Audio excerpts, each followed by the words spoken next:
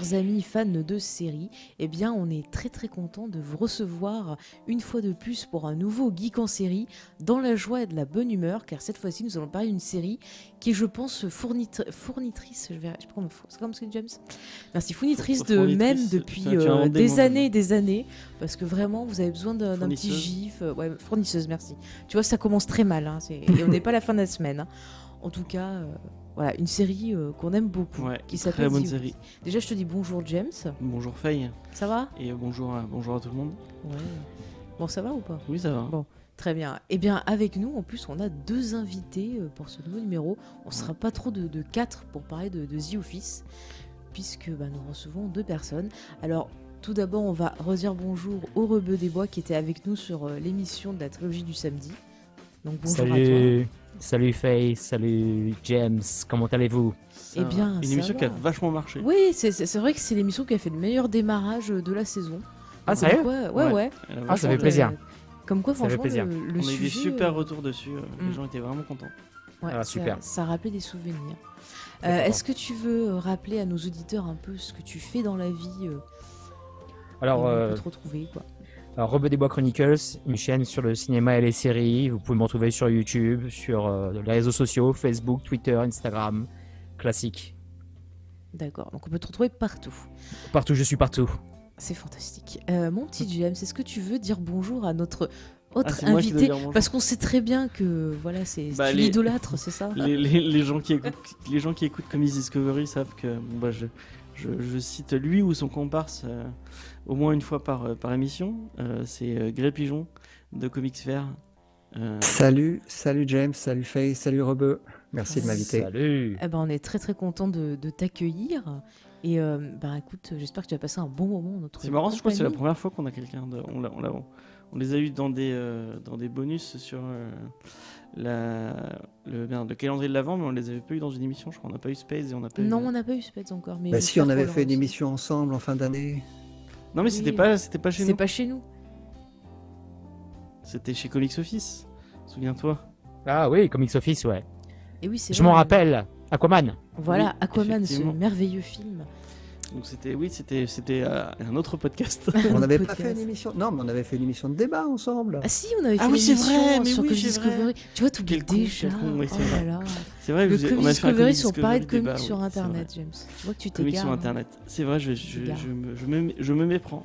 Et pourtant, cette émission, elle aussi, elle a super bien marché. Elle, elle, on a eu des super retours. Les gens étaient très contents euh, bah, de découvrir euh, autant de, de, de personnes si intéressant que les, autres. D'ailleurs, on, va refaire une émission avec Paula euh, euh, cette semaine. Bon, ça va, t'as fini de raconter ta vie? Parce que tu, tu l'aimes bien, mais laisse-le un peu expliquer aux gens qu'est-ce que c'est Comics Fair. C'est important. Ah, donc c'est à moi de présenter Comics Fair. Ah, moi, j'ai une, super définition qui parle de comics. C'est une émission qui parle de comics, mais qui parle pas vraiment de comics. On parle surtout du contexte autour du comics qu'on a choisi, euh, la vie des auteurs et pourquoi le comics est intéressant et euh, pourquoi euh, il est important dans le monde du comics. Euh, voilà, je sais même plus comment présenter mon émission. Vas-y, James, fais ma place. Moi, j'ai une belle définition. Je pense que c'est l'émission de comics qui parle le moins de comics. Mais tu l'as sorti combien de fois ça À chaque émission que tu parles de comics Mais, mais engagez-le hein, pour faire C'est que vous revenez sur le contexte et le contexte dans lequel est arrivé le comics, et c'est vachement intéressant. voilà. Ah, il faut que je meuble pendant que, pendant que Faye boit. Alors. Euh, c'est bon, c'est bon. Merci James. Alors, avant d'entrer dans le vif du sujet, bah, quelques petites news.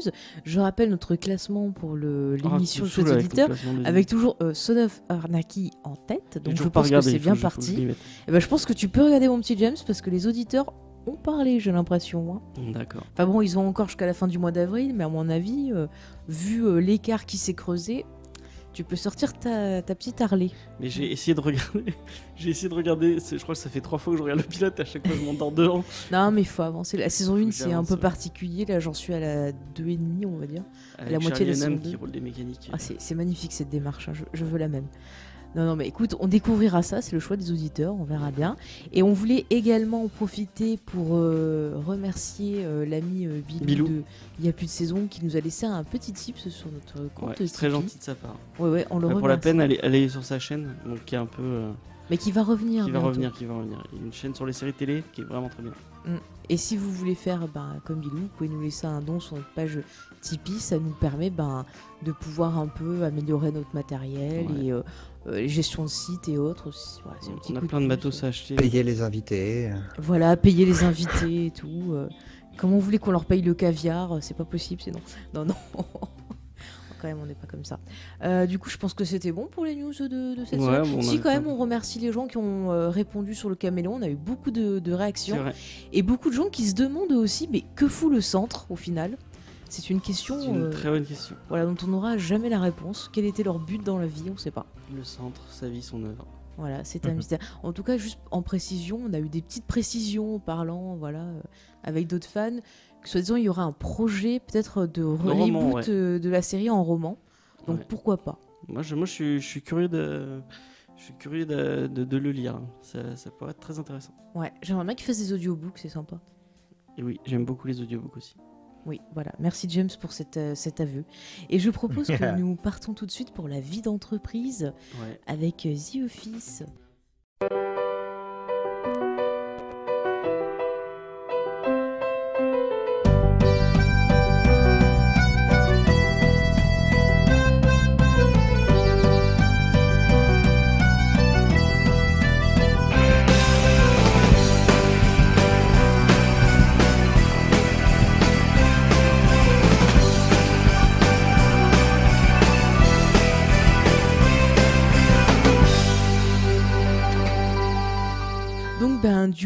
The Office, à la base, c'est une série anglaise qui a été euh, créée par euh, justement.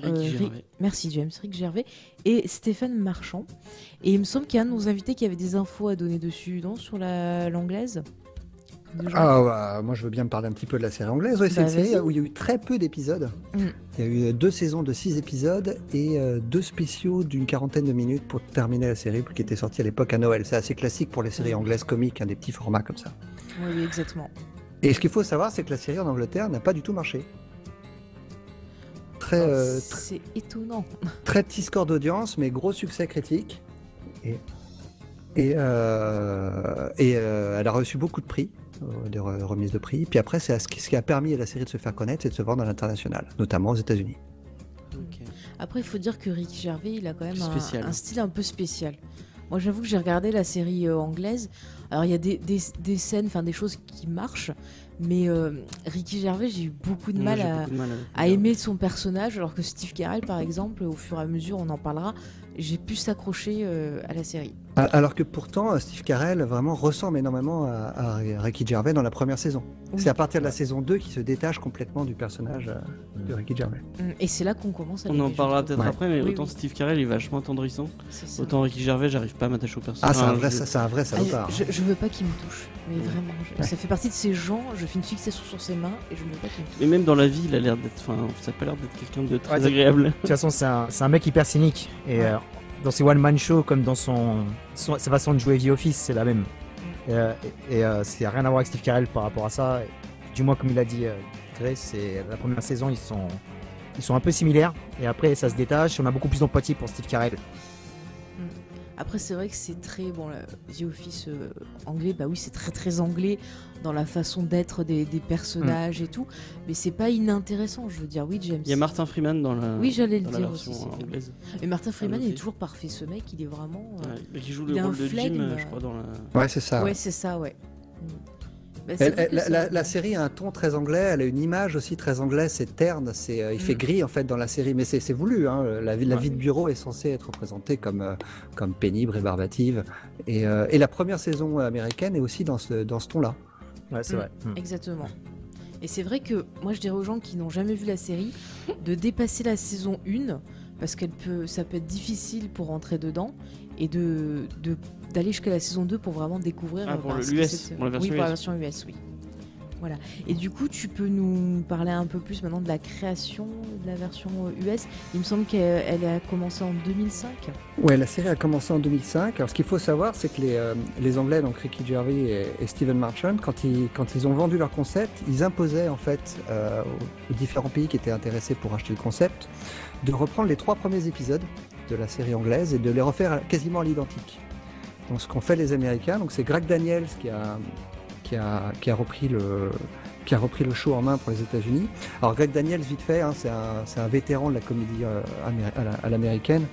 Il a fait ses armes au Saturday Night Live. Ensuite, il a eu, euh, il a eu sa propre série. Il a travaillé sur les Simpsons pendant longtemps. et après, il a, il a, il, a, eu sa propre série animée, King of the Hill, avant de, avant d'avoir, avant d'avoir The Office. Et donc, c'est une série sur MTV, King of the Hill? Ouais, c'est ça. Qu'est-ce que tu dis, James? J'ai pas entendu. King of the Hill, c'était une série sur MTV. Hein. Ouais, c'était co-créé avec, avec le gars qui avait fait Beavis and Butthead d'ailleurs. Mm. Et euh... Qui fait Silicon Valley maintenant. Voilà. Et euh, ensuite, donc, ils ont, ils, il, s'est lancé dans, dans, le projet The Office avec Ricky Gervais aussi en, en, producteur exécutif. Et donc, comme on le disait tout à l'heure, la première saison ressemble énormément à la saison anglaise et les critiques ont été assez mauvaises à, la diffusion aux États-Unis. Les, les, les, scores par contre d'audience étaient plutôt bons, ce qui ont fait qu'ils ont pu signer sur une deuxième saison. Mais c'est là qu'ils ont décidé de rendre le personnage de Steve Carell beaucoup plus, euh, beaucoup plus appréciable, beaucoup plus amical, et ce qui a fait que le, la, là la série a vraiment rencontré un énorme succès à la fois critique et public. Mais je trouve, enfin, on parle, non, je vais rien dire, on en parlera plus tard, parce que j'allais dire un truc sur Steve Carell.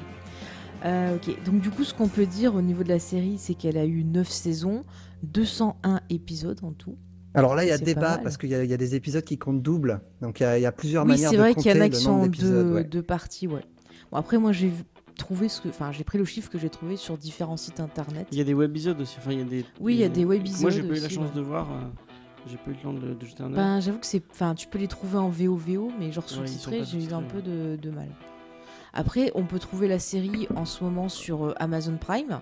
Alors par contre, voilà, non non, petit euh, petit euh, coup de gueule, c'est que tu as la VO aussi, mais qui n'ont pas mis de sous-titres français. Mais il y a la VF aussi, non? Il y a la VF aussi, oui. Ouais, mais c'est bien, tu peux réviser ton anglais, tu mets les sous-titres en anglais et ça te fait un peu Oui, voilà, mais bon, il y a des personnes qui sont par exemple allergiques, donc c'est un peu dommage parce que la VF. Ne pas regarder en VF, jamais la VF. Voilà, la, traduction est pas super au niveau des gags. Non, mais les séries comiques, c'est impossible de la regarder Surtout dans les séries comiques, ouais. Voilà, c'est difficile à traduire. Mm. C'est super chaud. Et après, moi, moi, je trouve ça compliqué. Moi qui ai un, anglais euh, très euh, approximatif, mater une série comique en anglais, c'est compliqué parce que les, ça va tellement vite. Et euh, tu, mm. le temps que tu as compris une blague, ils sont passés à autre chose. Donc, c'est vrai que moi, j'ai beaucoup de mal à regarder si c'est pas sous-titré. C'est par exemple Community, c'est impossible. Enfin, j'ai essayé et c'est impossible à mater. Ouais, Community, c'est dur, c'est très référencé. c'est très très dur, ouais. Mm. Mm, mm. Et sinon, après, au niveau de l'équipe technique, euh, les gens qu'on retrouve, nous on a déjà parlé, il y a quand même euh, Michael Schur, par exemple, qui a écrit. Euh, qui, il me semble qu'il a écrit des épisodes, il était aussi à la production à un moment, si je ne fais pas de bêtises. Et il joue aussi dans la série parce qu'il fait le cousin de Dwight, le fameux Moïse en français, quoi, Moïse. Voilà, qui est très très drôle. Euh, après, est-ce qu'il y a d'autres gens au niveau de l'équipe technique que vous voulez ah bah, citer Parmi les écrivains de la série, en fait, on retrouve les, acteurs, notamment le, comment dire, le, hein. personnage qui joue Toby va être producteur exécutif, euh, showrunner sur la série pendant un, pendant un bon moment. Son frère euh, aussi a travaillé avec lui sur la série. On le voit même apparaître dans la série à un moment, mais il y a Ryan aussi qui est producteur de la série. Oui, oui. Novak également il écrit a beaucoup d'épisodes aussi, Kelly aussi. Oui, j'allais dire ça, je peux son nom. Mandy Colling. Mandy, ouais, voilà. Enfin, il y a beaucoup de, même au niveau des, des, acteurs, il y a eu beaucoup d'acteurs qui ont participé à la réalisation, genre John Krasinski, euh, même euh, Steve Carell, il me semble, il a réalisé des épisodes aussi. Il me semble avoir vu oui, oui, bien sûr. Ouais, ouais. Voilà, voilà. Bah non, ça c'est cool. Je trouve qu'il y a vraiment un chouette esprit d'équipe sur cette série. Ils se complètent tous plutôt pas mal. Hmm. James, tu veux dire quelque chose Peut-être que je, je, je, vais un peu trop vite, peut-être. Mais Steve Carell, il est déjà connu pour euh, tout ce qu'il a fait. Alors, Steve euh, Carell, en fait, il était connu au départ quand il rêvait dans la série.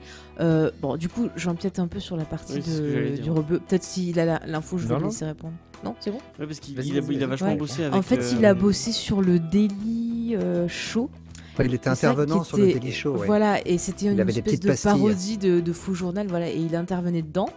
Et euh, justement, le succès après de 40 ans, toujours puceau et compagnie, c'est un peu ça aussi qui a fait qu'il y a pas mal de gens qui se sont aussi intéressés à la série. il bossait aussi avec, mec, je me souviens plus, le mec qui fait Ron Burgundy là.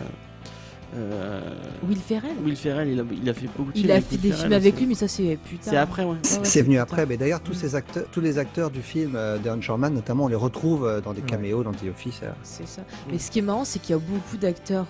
bah du coup, comme ça, écoutez, tant pis, on va partir sur les acteurs. Mais il y a beaucoup d'acteurs justement de la série qui sont liés entre eux. Je veux dire, vous prenez Beji Novak et John Krasinski, ils étaient à l'école ensemble. celle qui joue Angela, bah, qui s'appelle Angela, et c'est la meilleure, c'est la meilleure amie, voilà, de celle qui joue pas Enfin, il y a plein de petits. Euh, et d'ailleurs, euh, celle qui fait Angela, elle est mariée au frère de celui qui joue Toby. Enfin, c'est marrant, quoi. Et puis, tiens, James Stockham, James Gunn, euh, l'actrice qui joue Pam, elle a été mariée avec James, Gunn, et c'est elle qui lui a dit de prendre celui qui fait Dwight pour jouer dans Super. Mais là, vous voyez, je vous embouille, donc je vais laisser le rebeu nous parler un peu des acteurs. Comme ça, on va s'y retrouver. Bah, Steve Carell, euh, après, euh, vous l'avez bien présenté. Et euh, de, ça, ça a un peu lancé sa carrière. surtout au niveau de la comédie, on, bah, comme il dit Anchorman. Après, on l'a vu dans Crazy Stupid Love. Après, il a fait des rôles un peu plus sérieux, comme dernièrement Bienvenue à bord. My Beautiful Boy, qui est sorti. Il est aussi dans Vice, dans tous les films.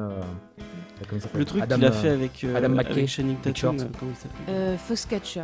Foxcatcher, c'était vachement cool ça et euh, il, a, il s'est un peu détaché aussi du rôle de comique, quoi, parce qu'il a fait des rôles un peu plus difficiles, là, comme euh, Beautiful Boy et Marwan, qui sont vraiment des dramas. Mm. Mais je trouve euh, qu'il a une belle palette d'émotions et de jeux, cet acteur. Même si personnellement au début j'ai eu un peu de mal sur un, quand on était un peu plus sérieux, parce qu'il est très marqué Michael Scott.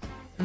Et c'était un, peu, un peu difficile, mais c'est vrai qu'il a fait une très belle carrière derrière. Mm. Il s'est bien lancé, il a eu raison d'arrêter la série pour oui, pour faire autre chose. sinon, il aurait été... sa filmographie. Hein. Sinon, il aurait été coincé là-dedans, je pense. Il aurait continué. Bah, c'est difficile, hein. Moi, je... franchement, des fois, quand je vois Dwight dans Meg, euh, on, va, on va parler ah bah, j'ai pensé à, The Office. De, The Office hein. Ah, mais direct. Même dans Star Trek, je le vois, c'est pareil, euh, tu mm. vois. Moi, ça me fait penser à, You Glory de House. Tu, tu, tu, le vois plus que comme House maintenant. Tu le vois plus. fin c'est dommage, mais. Euh. Ah, c'est très difficile pour les acteurs comme ça qui ont un rôle iconique de se détacher. Euh. Il y en a qui y arrivent. Euh, Georges Clooney, par exemple, a réussi à se détacher de son rôle de, docteur dans l'urgence. C'est vrai. Bruce Willis aussi, qui était, qui était, vu comme ça pendant longtemps comme un acteur de série. Et... Johnny Depp sur 21 Jump Street. C'est ça qui sont, ils sont pas très.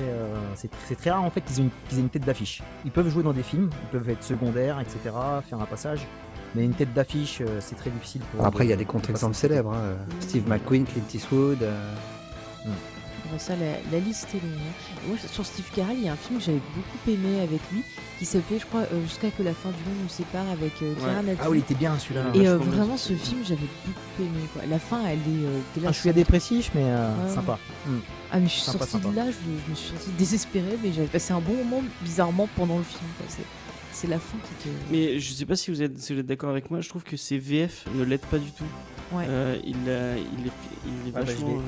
moi, je l'ai découvert, j'ai découvert dans, dans des trucs en VF avec. Euh, avec merde, 40, jours, 40 ans toujours plus ce genre de truc. Mm. Et je trouve que vraiment, elle n'est pas aidée par ces VF. La VF n'aide personne. Ah, ça dépend, ça dépend. Des fois, il y en a qui sont quand même plutôt bien faites, mais c'est de plus en plus rare, je trouve, personnellement. C'est vie qui l'engage que moi, bien sûr. Parce que je sais qu'il y a beaucoup de, auditeurs qui aiment bien la VF aussi. Moi, c'est vrai que je deviens de plus en plus sensible à la traduction. Quand tu commences à regarder beaucoup de trucs en VO et que tu les vois après en VF, tu vois qu'il y a beaucoup de problèmes de traduction. Et comme on en revient surtout sur l'humour, au niveau des références, euh, des jeux de mots, c'est pas facile. Hein. Tu, tu, peux, mm tu, perds tellement de trucs à la traite que... Et tu vois, moi, ce qui est marrant, c'est que Steve Carell, au début, moi, je l'ai découvert dans, tu vois, 40 ans, toujours plus haut et tout. Et j'aimais pas du tout, parce que j'aimais pas du tout ce type de comédie-là. Et c'est vrai que je l'ai redécouvert ben, par les rôles plus dramatiques qu'il a fait. Hmm. Et vraiment, dans, dans The Office, j'ai redécouvert ben, le comique. Et j'avoue qu'il m'a fait mourir de rire, il m'a fait pleurer aussi. C'est vraiment un gars... Euh, Maintenant, c'est qu'il fait partie des acteurs que j'apprécie. Ouais, c'est un vrai, un vrai acteur. Alors, si, je peux rajouter quelque chose sur Steve Carell, c'est que ce ne devait pas être lui qui, devait avoir le rôle à la base. Le rôle a été proposé à plusieurs acteurs avant lui. Ouais. Il a été proposé notamment à Paul Giamatti, euh, qu'on retrouve maintenant dans, une, dans la série Billions, par exemple. C'est le premier choix. Ouais. Et sinon, Bob Odenkirk, qui avait, euh, lui, carrément signé hein, pour, jouer, euh, pour jouer Michael Scott. mais parce que Steve Carell était, était occupé sur une autre bien lui a fait, grand bien lui a fait? Sinon, on l'aurait pas eu dans Walking Bad. C'est ça. mais ça, a dû être une énorme déception pour lui parce que finalement, il s'est retrouvé dégagé de la série pour, pour laisser la place à Steve Carell. c'est sûr que ça fait un coup. Il a une hein. chouette carrière quand même. Ouais, une chouette carrière quand même, c'est cool. Non, mais c'était le destin. Je, trouve que je vois personne d'autre à la place de. Ouais, ah, surtout pas Giamatti, putain. Ouais, Giamatti, ça aurait été. Ouais, Giamatti, ouais, j'aurais pas vu. Par Odenkirk, il aurait été parfait, je pense. Odenkirk, ouais, il aurait été très bon. C'est un mec qui sait tout faire lui aussi. Mais il est très fort dans, euh, dans ah Better Call Saul, c'est fou quoi. Ah, j'ai pas encore commencé Better Call Saul. Ah, j'ai fini Breaking Bad. Comment ça? Comment ça? C'est pas sérieux ça? Mais j'ai découvert Breaking Bad que récemment. On en parlera bientôt grâce à un invité qui a. C'était sur ma oh liste. Non, mais c'était sur ma liste et je n'avais pas eu le temps de le regarder. C'est une obligation. Bah, je l'ai découvert. Moi, dans la continuité de mes, de mes opinions euh, impopulaires, moi je préfère Better Call Saul à Breaking Bad. Ah, je peux pas dire, j'ai pas vu. Euh, je trouve que le personnage de Saul est beaucoup plus. Tu sais qu'on fait pas encore Breaking. On en parlera plus tard. je trouve que Saul est plus attachant que, que Ney Walter. D'accord, merci James. C'est un, autre débat, mais euh, intéressant. Reprenons un peu le, casting. Reprenons le du casting. Donc on a parlé de Ray Winson qui est joué Dwight. Euh, il, est très, il, est très, par contre, il est très bon dans Super que je conseille, qui est un super film de James Gunn, qui est beaucoup mieux que Les Gardiens de la Galaxie numéro 2. Voilà, c'était au passage. et, et, euh, et euh, on continue après sur le, le, beau gosse de la série, John Krasinski, qui mhm. lui après a, a, fait ses armes avec des films d'action. Il est super dans Fortune Wars que je conseille. Très mhm. bon aussi dans Jack Ryan. Il est passé ici derrière la caméra avec Sans un bruit, qui est sorti cet été. Adoré ce film. Excellent. vraiment, et c'est là qu'on voit que par rapport à John Krasinski et même par rapport à Jordan Peele, c'est des mecs qui viennent de la comédie, mais ils arrivent à maîtriser euh, euh, tout ce qui est une autre situation. Ils arrivent à mélanger. Euh, enfin, Jordan Peele le mélange, mais c'était un pur film d'horreur ce qu'il a fait John Krasinski. C'est quand même l'école ah, comédie. Ils arrivent à tout faire en fait. Même quand je vois Dem qui arrive à faire Vice, un lien avec Steve Carell qui est dedans, mm-hmm. ils arrivent à, à, tout faire, à, te faire passer les, les messages avec, tu, tu jaune, avec du rire jaune, avec, avec, des avec de l'impact, et avec de la pression. Parce que franchement, sans un bruit, j'étais, c'est le film qui m'a le plus fait flipper cette année. Et euh, il, a fait, il a fait du super boulot. Euh, ah, mais il y avait une chouette ambiance, franchement. Ouais, il est vraiment très, très, cool. Il est très bon aussi dans la série Jack Ryan. Euh, déjà à l'époque, s'intéressait à la réalisation parce que c'est à lui qu'on doit le générique de la série. Exactement, ah j'allais le dire. Très bonne anecdote. Mais, mais vas-y, vas-y, parle-nous-en.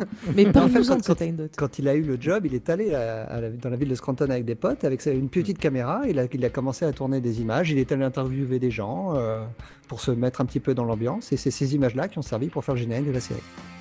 Monsieur est très pro. Et en plus, il a, il a embelli avec le temps parce que quand je, je me retape les premiers épisodes, il avait une sacrée coupe de cheveux quand même. Ouais. Ah oui, vrai. Mais d'ailleurs, vous savez que dans euh, la saison 3, pendant une bonne partie de la saison 3, il porte une perruque parce qu'il ah. avait dû couper ses cheveux pour un, un rôle et en fait. Euh, c'était pour le film sur les, sur les footballeurs américains de George Clooney, réalisé par George Clooney. C'est vrai. C'est Jude Il était bon ce film aussi. très bon film. Bon, il a un peu... George Clooney, il est vachement marqué Frank Cohen, mais euh, il se débrouille pas mal. Bah, je, je, le préfère en tant que réalisateur que acteur, moi, mais bon, c'est. C'est un avis mais toi, t'as un problème avec Clooney, avec Brad Pitt, avec tous ces mecs-là. Il bouge sa tête, hein. genre. C'est vrai qu'il bouge la tête, tu verras, il bouge. Je fais une fixation dessus et du coup, j'écoute pas le film. Ça, ça m'hypnotise. mais c'est sa marque, tu vois. C'est le mec, bah euh, quand il bouge sa tête, les, les filles craquent là-dessus. Ah non, je craque pas, c'est juste, c'est bizarre, ça m'hypnotise. Dis-toi, fait que pour nous autres fans de comics, euh, George Clooney, c'est surtout le gars qui a tué Batman. Hein. Ah bah ça, euh, c'est sûr. Qui avait la batterie du cul. la batterie du cul. Le Batman de. Ouais, bah, à choisir, je préfère Monsieur Krasinski que Monsieur Clooney. Si je devais choisir en beauté. Il ferait un bon Batman, mais Krasinski. Non, mais Monsieur Krasinski, mais un mec m'a jamais fait autant chialer que ce gars, quoi. Quand tu vois The Office, c'est pas possible. C'est le mec le plus euh, touchant du monde, quoi. Ouais, les, les scènes ah, avec. Euh, bah, on va en parler ah, bah rapidement. Pam. Avec les scènes avec Pam, c'est euh, pour moi, c'est une des plus belles histoires d'amour. L'alchimie entre toutes les séries confondues. C'est magnifique, je fais des cœurs. Voilà. Franchement, ils sont, ils sont excellents. Même, attendez, attendez, attendez, on s'arrête tout de suite. Mais vous préférez la, relation entre Pam et Jim plutôt que celle entre Dwight et Angela?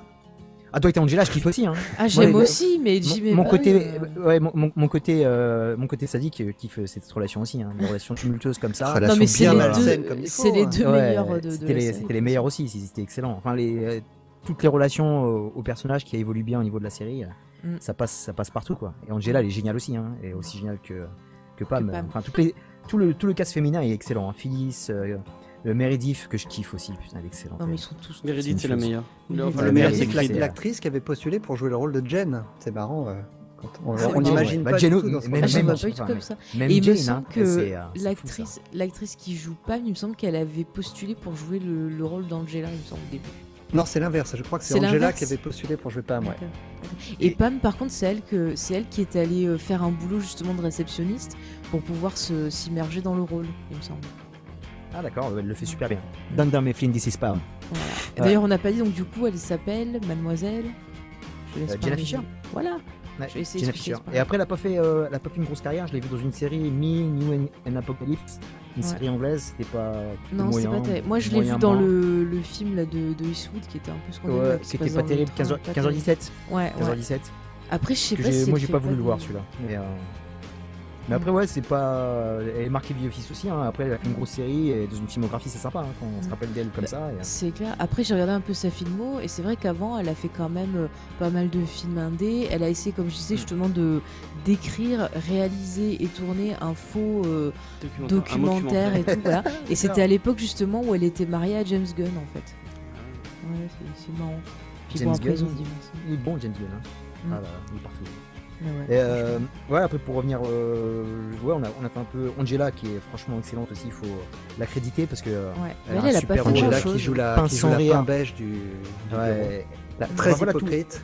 L'incarnement des personnages, ils le font, ils le font super bien. Quoi. Ils sont vraiment bluffants euh, tous. Ouais, enfin euh, religieux si tu veux. Et même sur une phrase, ils arrivent à te sortir complètement euh, du contexte de la série. Quand ils font les interviews face caméra, c'est trop trop lourd. Mais c'est fou parce que même les différents personnages, il y a forcément un type de personnage que tu auras rencontré toi-même dans tes expériences professionnelles. c'est clair, carrément, dans n'importe quel milieu professionnel. Hein. Qu'est-ce que tu dis? Il y a aussi le qu'on n'a pas parlé, qui arrive, enfin qui a un, petit rôle au début, qui après. Tu parles d'Andy, toi Je parle de merde, celui qui est dans la, la série avec, ah, non, avec le mec de Park and Rec après. Euh, la série que t'aimes bien là sur les fantômes. Ah, le, le, voleur de Pontiac, il est dans. Oui, voilà le voleur de Pontiac. Il est dans Nine Nine. J'ai oublié son nom, excusez-moi. Euh, ah oui, euh, comment il s'appelle Craig Robinson. Daryl. Daryl. Oui, c'est pas. Oui, il fait Daryl. Oui, c'est Craig Robinson, ouais, je crois. et du coup, je l'appelle le voleur de Pontiac. Et du coup, qui a explosé grâce à, grâce à la série. grâce à The Office, ouais. Mais il est très très drôle ce gars, et puis il a plein de talent. Franchement, ouais, il est vraiment très très fort. Bah, il a un tout petit rôle au début de la série, mais il est tellement bon que son rôle devient de plus en plus important. Hein. C'est bien, en plus, il montre, euh, il montre un autre pont de l'entreprise, et, et c'est ça qui est excellent, parce qu'on arrive à traverser euh, tout, euh, tout l'immeuble, quoi. On va du mm. sous-sol au toit. C'est excellent, on passe par les escaliers, on va dans l'ascenseur. Et, il y a vraiment euh, beaucoup, beaucoup de persos super intéressants. Ouais, on a tous les Il y a Andy aussi qui a, qui, a, un peu plus percé maintenant, du coup, aussi grâce à la mm. série. J'ai oublié le, nom d'acteur. Euh, qui est dans Very Bad Trip. Helms, ouais, dans Very, euh, Very Bad Trip. Je suis pas fan, je, je comprends pas Very Bad Trip en fait. Je, je... Ça m'a pas fait rire. Si vous avez envie de regarder un petit film sympathique qui est pas si bien qu'on me l'avait vendu, mais qui est avec Jeremy Renner, c'est. Merde, comment il s'appelle putain Avengers. Ah, le truc, Catch. ah, je l'ai raté celui-là. Ouais. Et moi je l'ai vu, ouais, c'est assez. Euh, bon, ah c'est. Euh, c'est mignon. C'est mignon, voilà. Hmm. Voilà, c'est, ça, lui va bien, c'est mignon. Et personne parle de Creed, qui est quand même un super personnage. Creed, il est excellent. Ce qu'il faut savoir, c'est que l'acteur qui joue ah Creed, en fait, ne joue pas Creed, il se joue lui-même. Apparemment, l'acteur est comme ça dans la vraie vie. Ah, c'est fantastique. Ah c'est un truc de Mais ce que je veux dire, c'est qu'il y a plein de, d'acteurs qui vraiment, jouent, euh, Il s'appelle vraiment Creed. Hein. C'est ça. voilà, comme Angela qui s'appelle vraiment Angela, Meredith, Meredith. Euh, enfin. je crois que Phyllis aussi, elle s'appelle Phyllis. Euh, ouais. Je suis... ouais, ça s'appelle Phyllis aussi. Alors elle, par contre, enfin, en en parlant dans les personnages, mais c'est le, personnage que j'aime le moins dans cette série. Aussi, le marrant, Phyllis, c'est cool. Ah non, c'est trop les C'est une connasse. Non, mais je vous explique. Dans une entreprise où j'ai été. J'ai vu une connasse comme ça et du coup je, je peux pas la saquer. Voilà, bon, on, parle. Je, je, je, la trouvais, je la trouvais pas si connasse. Bah, en fait, elle fait genre. Euh, c'est le genre de gens, tu vois, qui te font euh, ah super ah sympa en, en, devant toi, mais genre ouais, entre leurs dents, dès que tout derrière, voilà. Ouais. Très hypocrite et j'ai horreur des gens comme ça. Et, et, son mari. Euh... Voilà, et son, ah, mari, son mari, la relation très sexuelle avec Bob Vance. c'est excellent ça aussi. Par contre, ce qui est bien, c'est qu'on a des gens, tu vois, un peu un peu gros, on va dire, mais qui sont pas montrés comme des, des feignants et des trucs comme ça. Bon, il y a le cas de Kevin qui est un peu spécial. Kevin, ouais, excellent Kevin. Avec euh, le, chanteur de cover, j'en pouvais plus quand on découvre la vidéo là. Oh là là là là là, c'est magnifique. Ah, c'est vrai que tu parlais de Stanley aussi. Oui, il y a Stanley aussi qui est très. Ah, Stanley tout le temps, que... croisé. Mais tu sais que dans dans une entreprise où j'étais, j'ai eu un gars, il faisait que des sudoku comme ça. Bah, c'était pas le, tu vois, les mots croisés, mais il jouait tout le temps au sudoku, même quand il bossait et tout. Quoi. Mais je trouve qu'il y a un génie, un génie dans cette série, c'est que les, enfin, t'as l'impression qu'il joue tout le temps. Parce que les acteurs, même quand euh, enfin, on vous, on vous l'a dit, c'est tourné comme un espèce de faux documentaire. Mhm. Et en fait, il y a plein de moments où ils sont, enfin, c'est une espèce de confessionnal où ils discutent juste face caméra. Et en fait, euh, comme c'est dans, c'est dans des, euh, c'est dans des, un open office. Mhm. Donc derrière, euh, non, c'est pas comme ça qu'on dit. oui, un open office. En open space. Open space. En open, space, voilà. Parce qu'open office, c'est le. c'est le. open office. c'est le tableur de. C'est chiant les bureaux. Donc voilà, un open space. Et donc derrière, c'est des vitres. Et en fait, on les voit pendant qu'ils sont en train de. T'en as qui sont en train de faire une interview. Mhm. On les voit derrière en train de faire des conneries. Et... Euh, j'ai une anecdote, je sais pas si Gré l'aura aussi. Mais en fait, les PC qu'ils avaient dans les bureaux étaient vraiment reliés à Internet.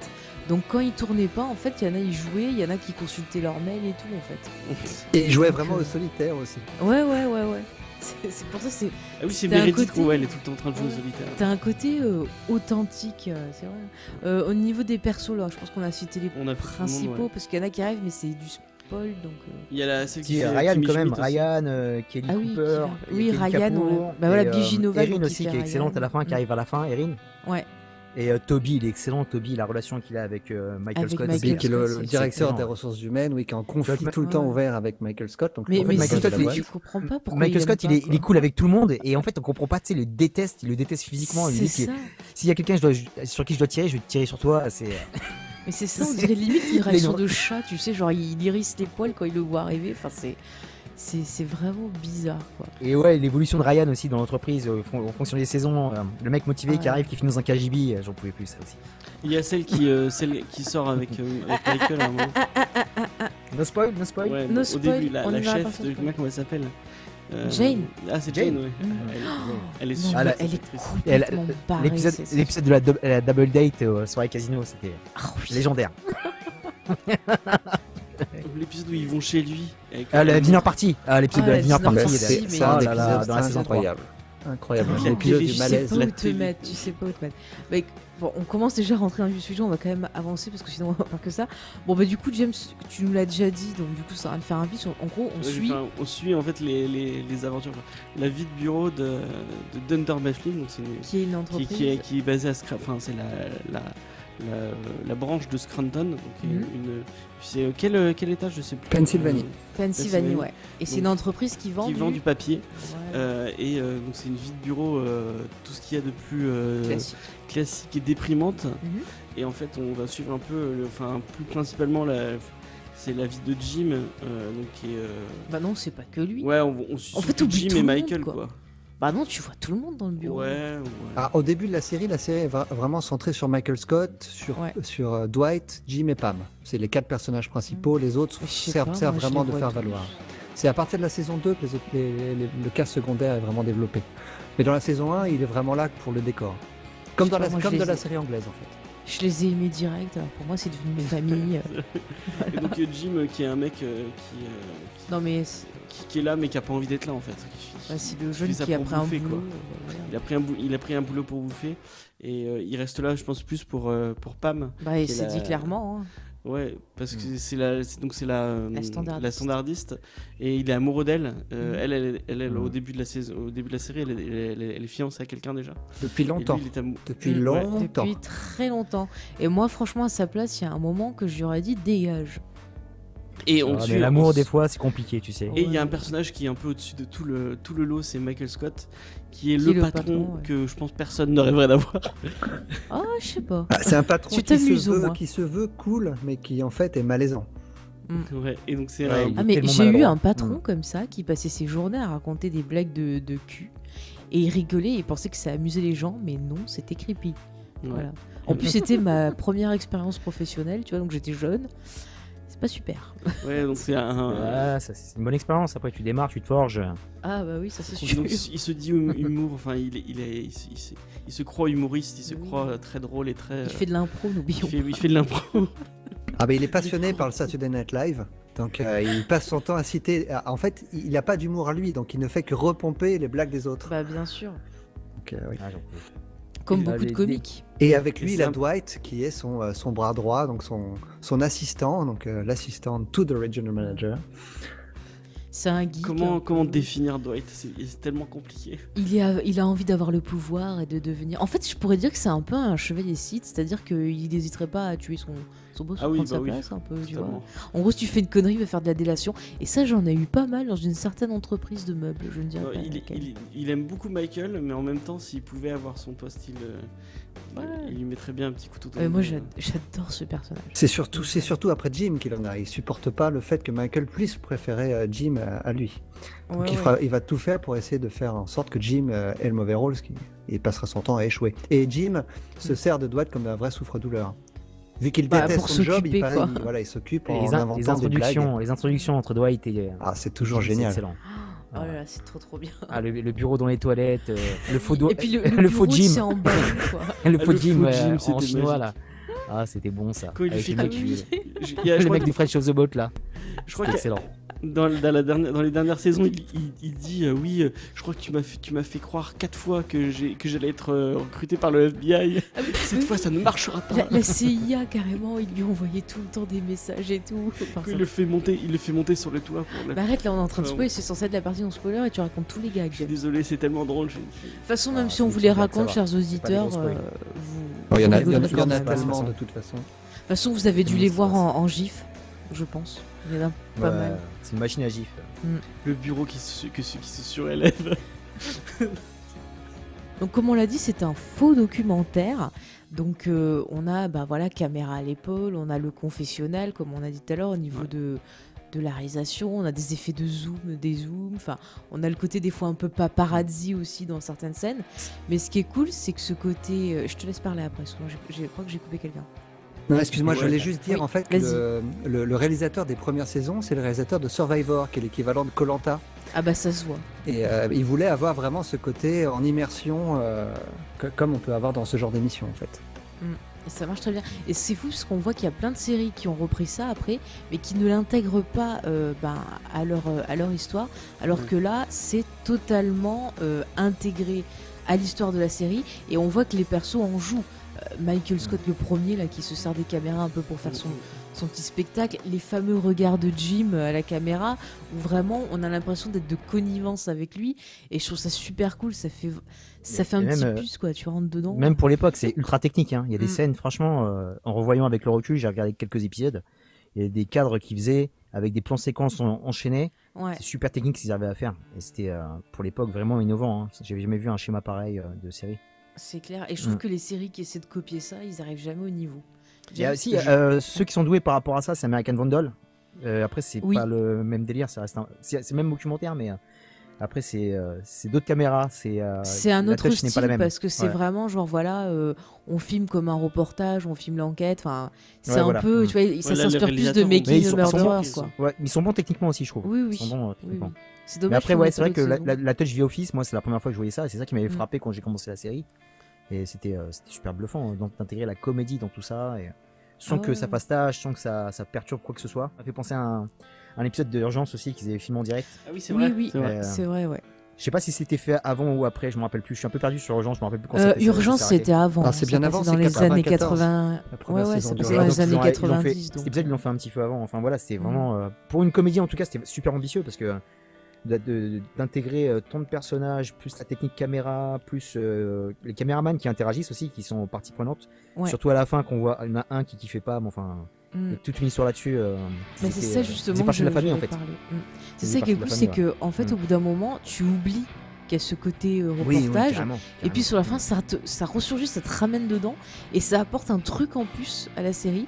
Et je trouve ça super cool parce que moi, tu vois, j'ai découvert The Office bah, une fois que c'était terminé. Je l'ai découvert, pour tout vous dire, euh, j'ai découvert l'année dernière parce que bah, c'était sur ma liste, j'avais jamais eu le temps de mater. Et puis là, je me suis dit, tiens, euh, je me lance. Excellent attrapage. Et je me suis fait, mais je me suis bouffé ça, tu vois, mais je me suis enquillé les, les saisons, j'arrivais pas à m'arrêter. Enfin bref, et c'est vrai qu'au début, bah, je me disais, ah, c'est comme 10 euh, 000 séries que j'ai vues. Ouais, genre, tu vois, voilà, genre Modern Family, tu vois, ou même euh, en France, fais pas ci, fais pas ça. Enfin, tu vois, et, et jamais ils te disent pourquoi ils utilisent ce type de, de façon de filmer. C'est absolument pas euh, intégré à l'histoire. Et là, je trouve ça trop cool. Pas si, fait pas ça, s'ils le disent que c'est. Parce que j'ai pas eu les premiers épisodes de Fait pas si. Bah, le début, euh, c'est censé, ils sont, ils font une espèce de télé-réalité D'accord. Mais après, du coup, c'est plus du tout dans l'histoire. totalement, ouais. Parce qu'après, ils en parlent plus. de toute façon, même après, le, la réalisation caméra, les plus ça, on fait pas, fait pas ça, elle, elle, elle, disparaît au fur et à mesure. Mais c'est débile. Mais si tu regardes moi, Modern Family, qui m'avait un peu. Enfin, je trouve que j'avais un souvenir dans la série UK, euh, enfin la série en Grande-Bretagne, où ils jouaient un peu plus sur le, fait que bah, qu'il y a une caméra mhm. et que euh, les gens sont différents quand il y a une, enfin à cause de la caméra. Et je trouve que dans, euh, dans The Office US, direct tout le monde est à l'aise avec le fait que bah, il y a une équipe de tournage et que parce qu'après, enfin, ils ont peut-être pas, tu vois, nous on voit peut-être pas les premiers jours, parce que en fait, ce qu'on est censé voir, c'est censé être en fait le, résultat euh, final entre guillemets. Bah Donc euh, peut-être que justement les premiers jours avec la caméra, ben, ils ont peut-être pas gardé, euh, tu vois, ils ont attendu qu'ils soient là. je, trouve, je, trouve, que c'est un des défauts de la série, c'est que les, mhm. les personnages qu'on voit, euh, qu'on suit dans The Office, sont, jouent effectivement avec la caméra, euh, font des interviews face caméra, font des mimiques à la caméra. Par contre, quand on a des personnages extérieurs, c'est-à-dire des gens qui viennent dans l'entreprise, dans ou quand, les, mhm. quand les, les personnages sont à l'extérieur, ils font comme s'il n'y avait pas de caméra.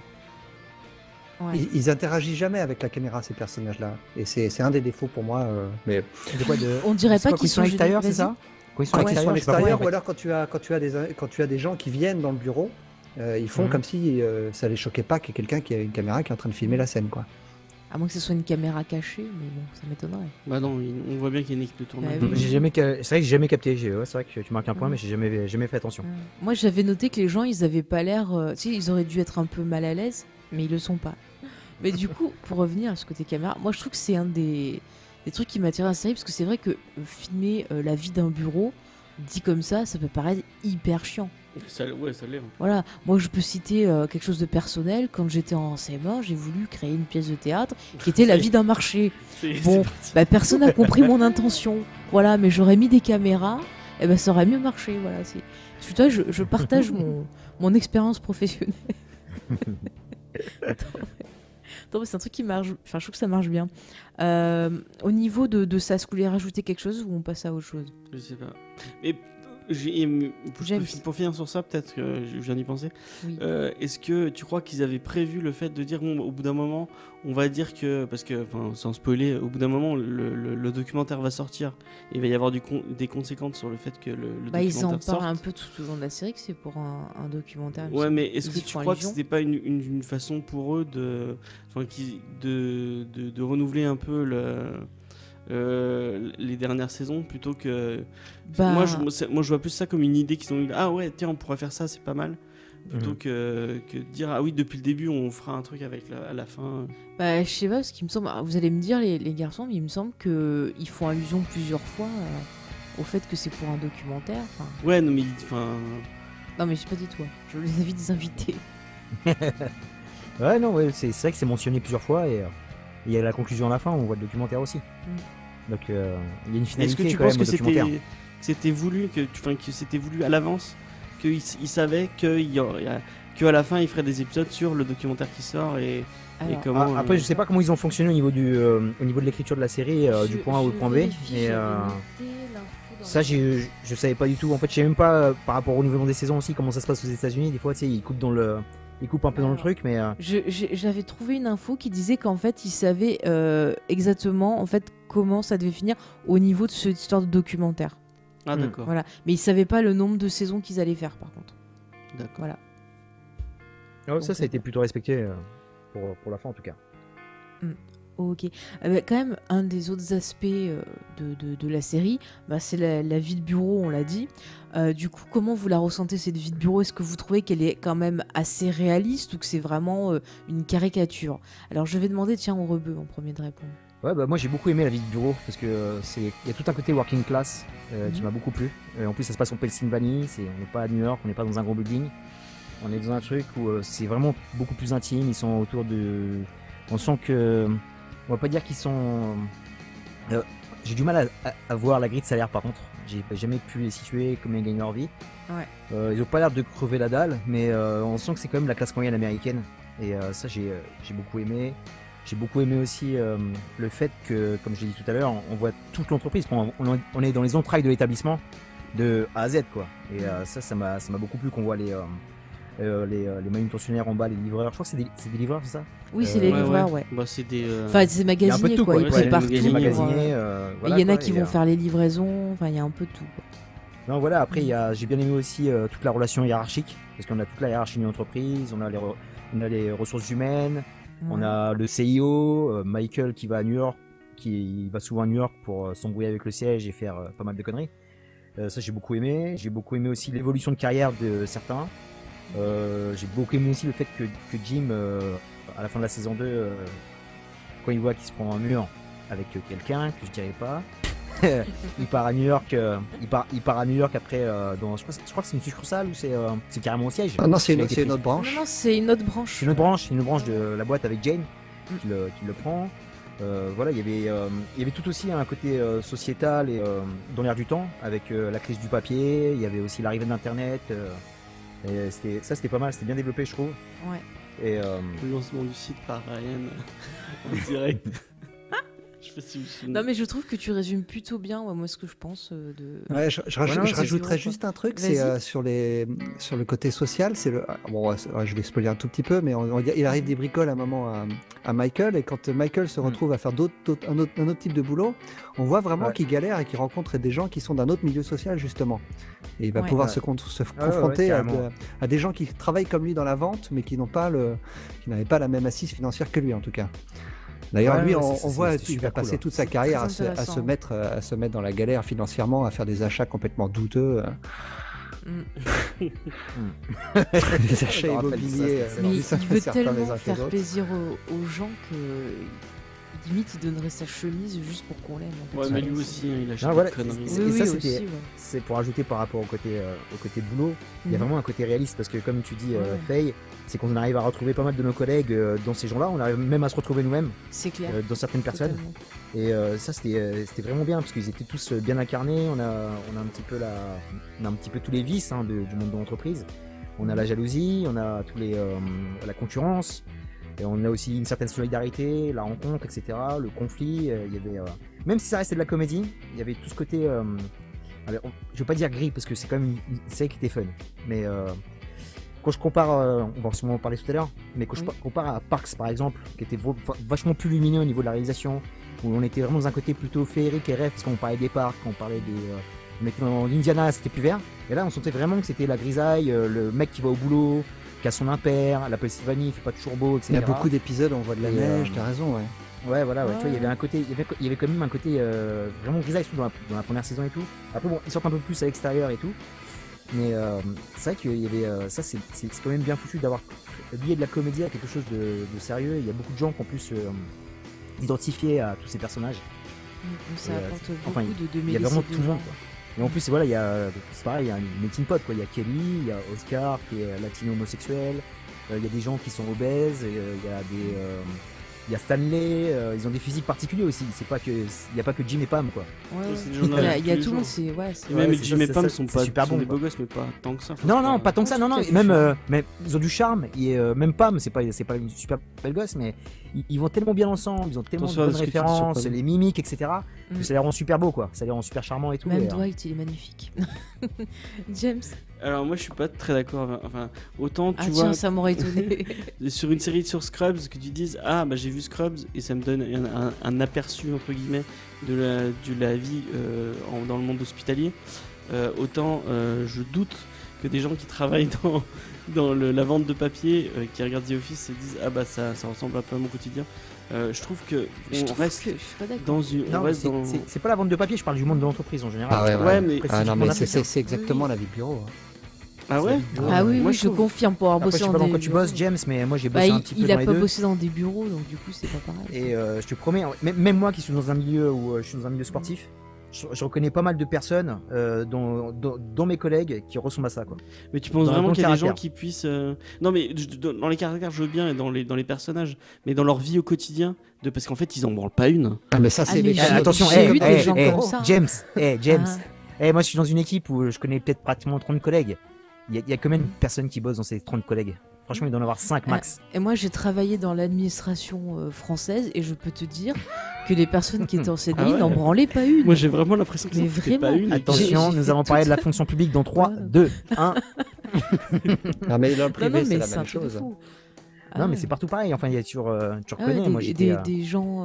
j'ai même bossé. J'avais une chef de service qui ressemble à Meredith, par exemple. Hmm. Et j'avais, elle était, elle était, comme Meredith, quoi. Ah. Voilà, je, je, te raconte pas le, le schéma, mais dès qu'on allait dans son bureau, on était côte à côte. On n'était pas l'un devant l'autre, quoi. Ah, ok. Ah voilà, Donc, Pigeon, dans ton quotidien, tu joues, tu joues au solitaire très, très souvent, là. Ah, ça m'est arrivé.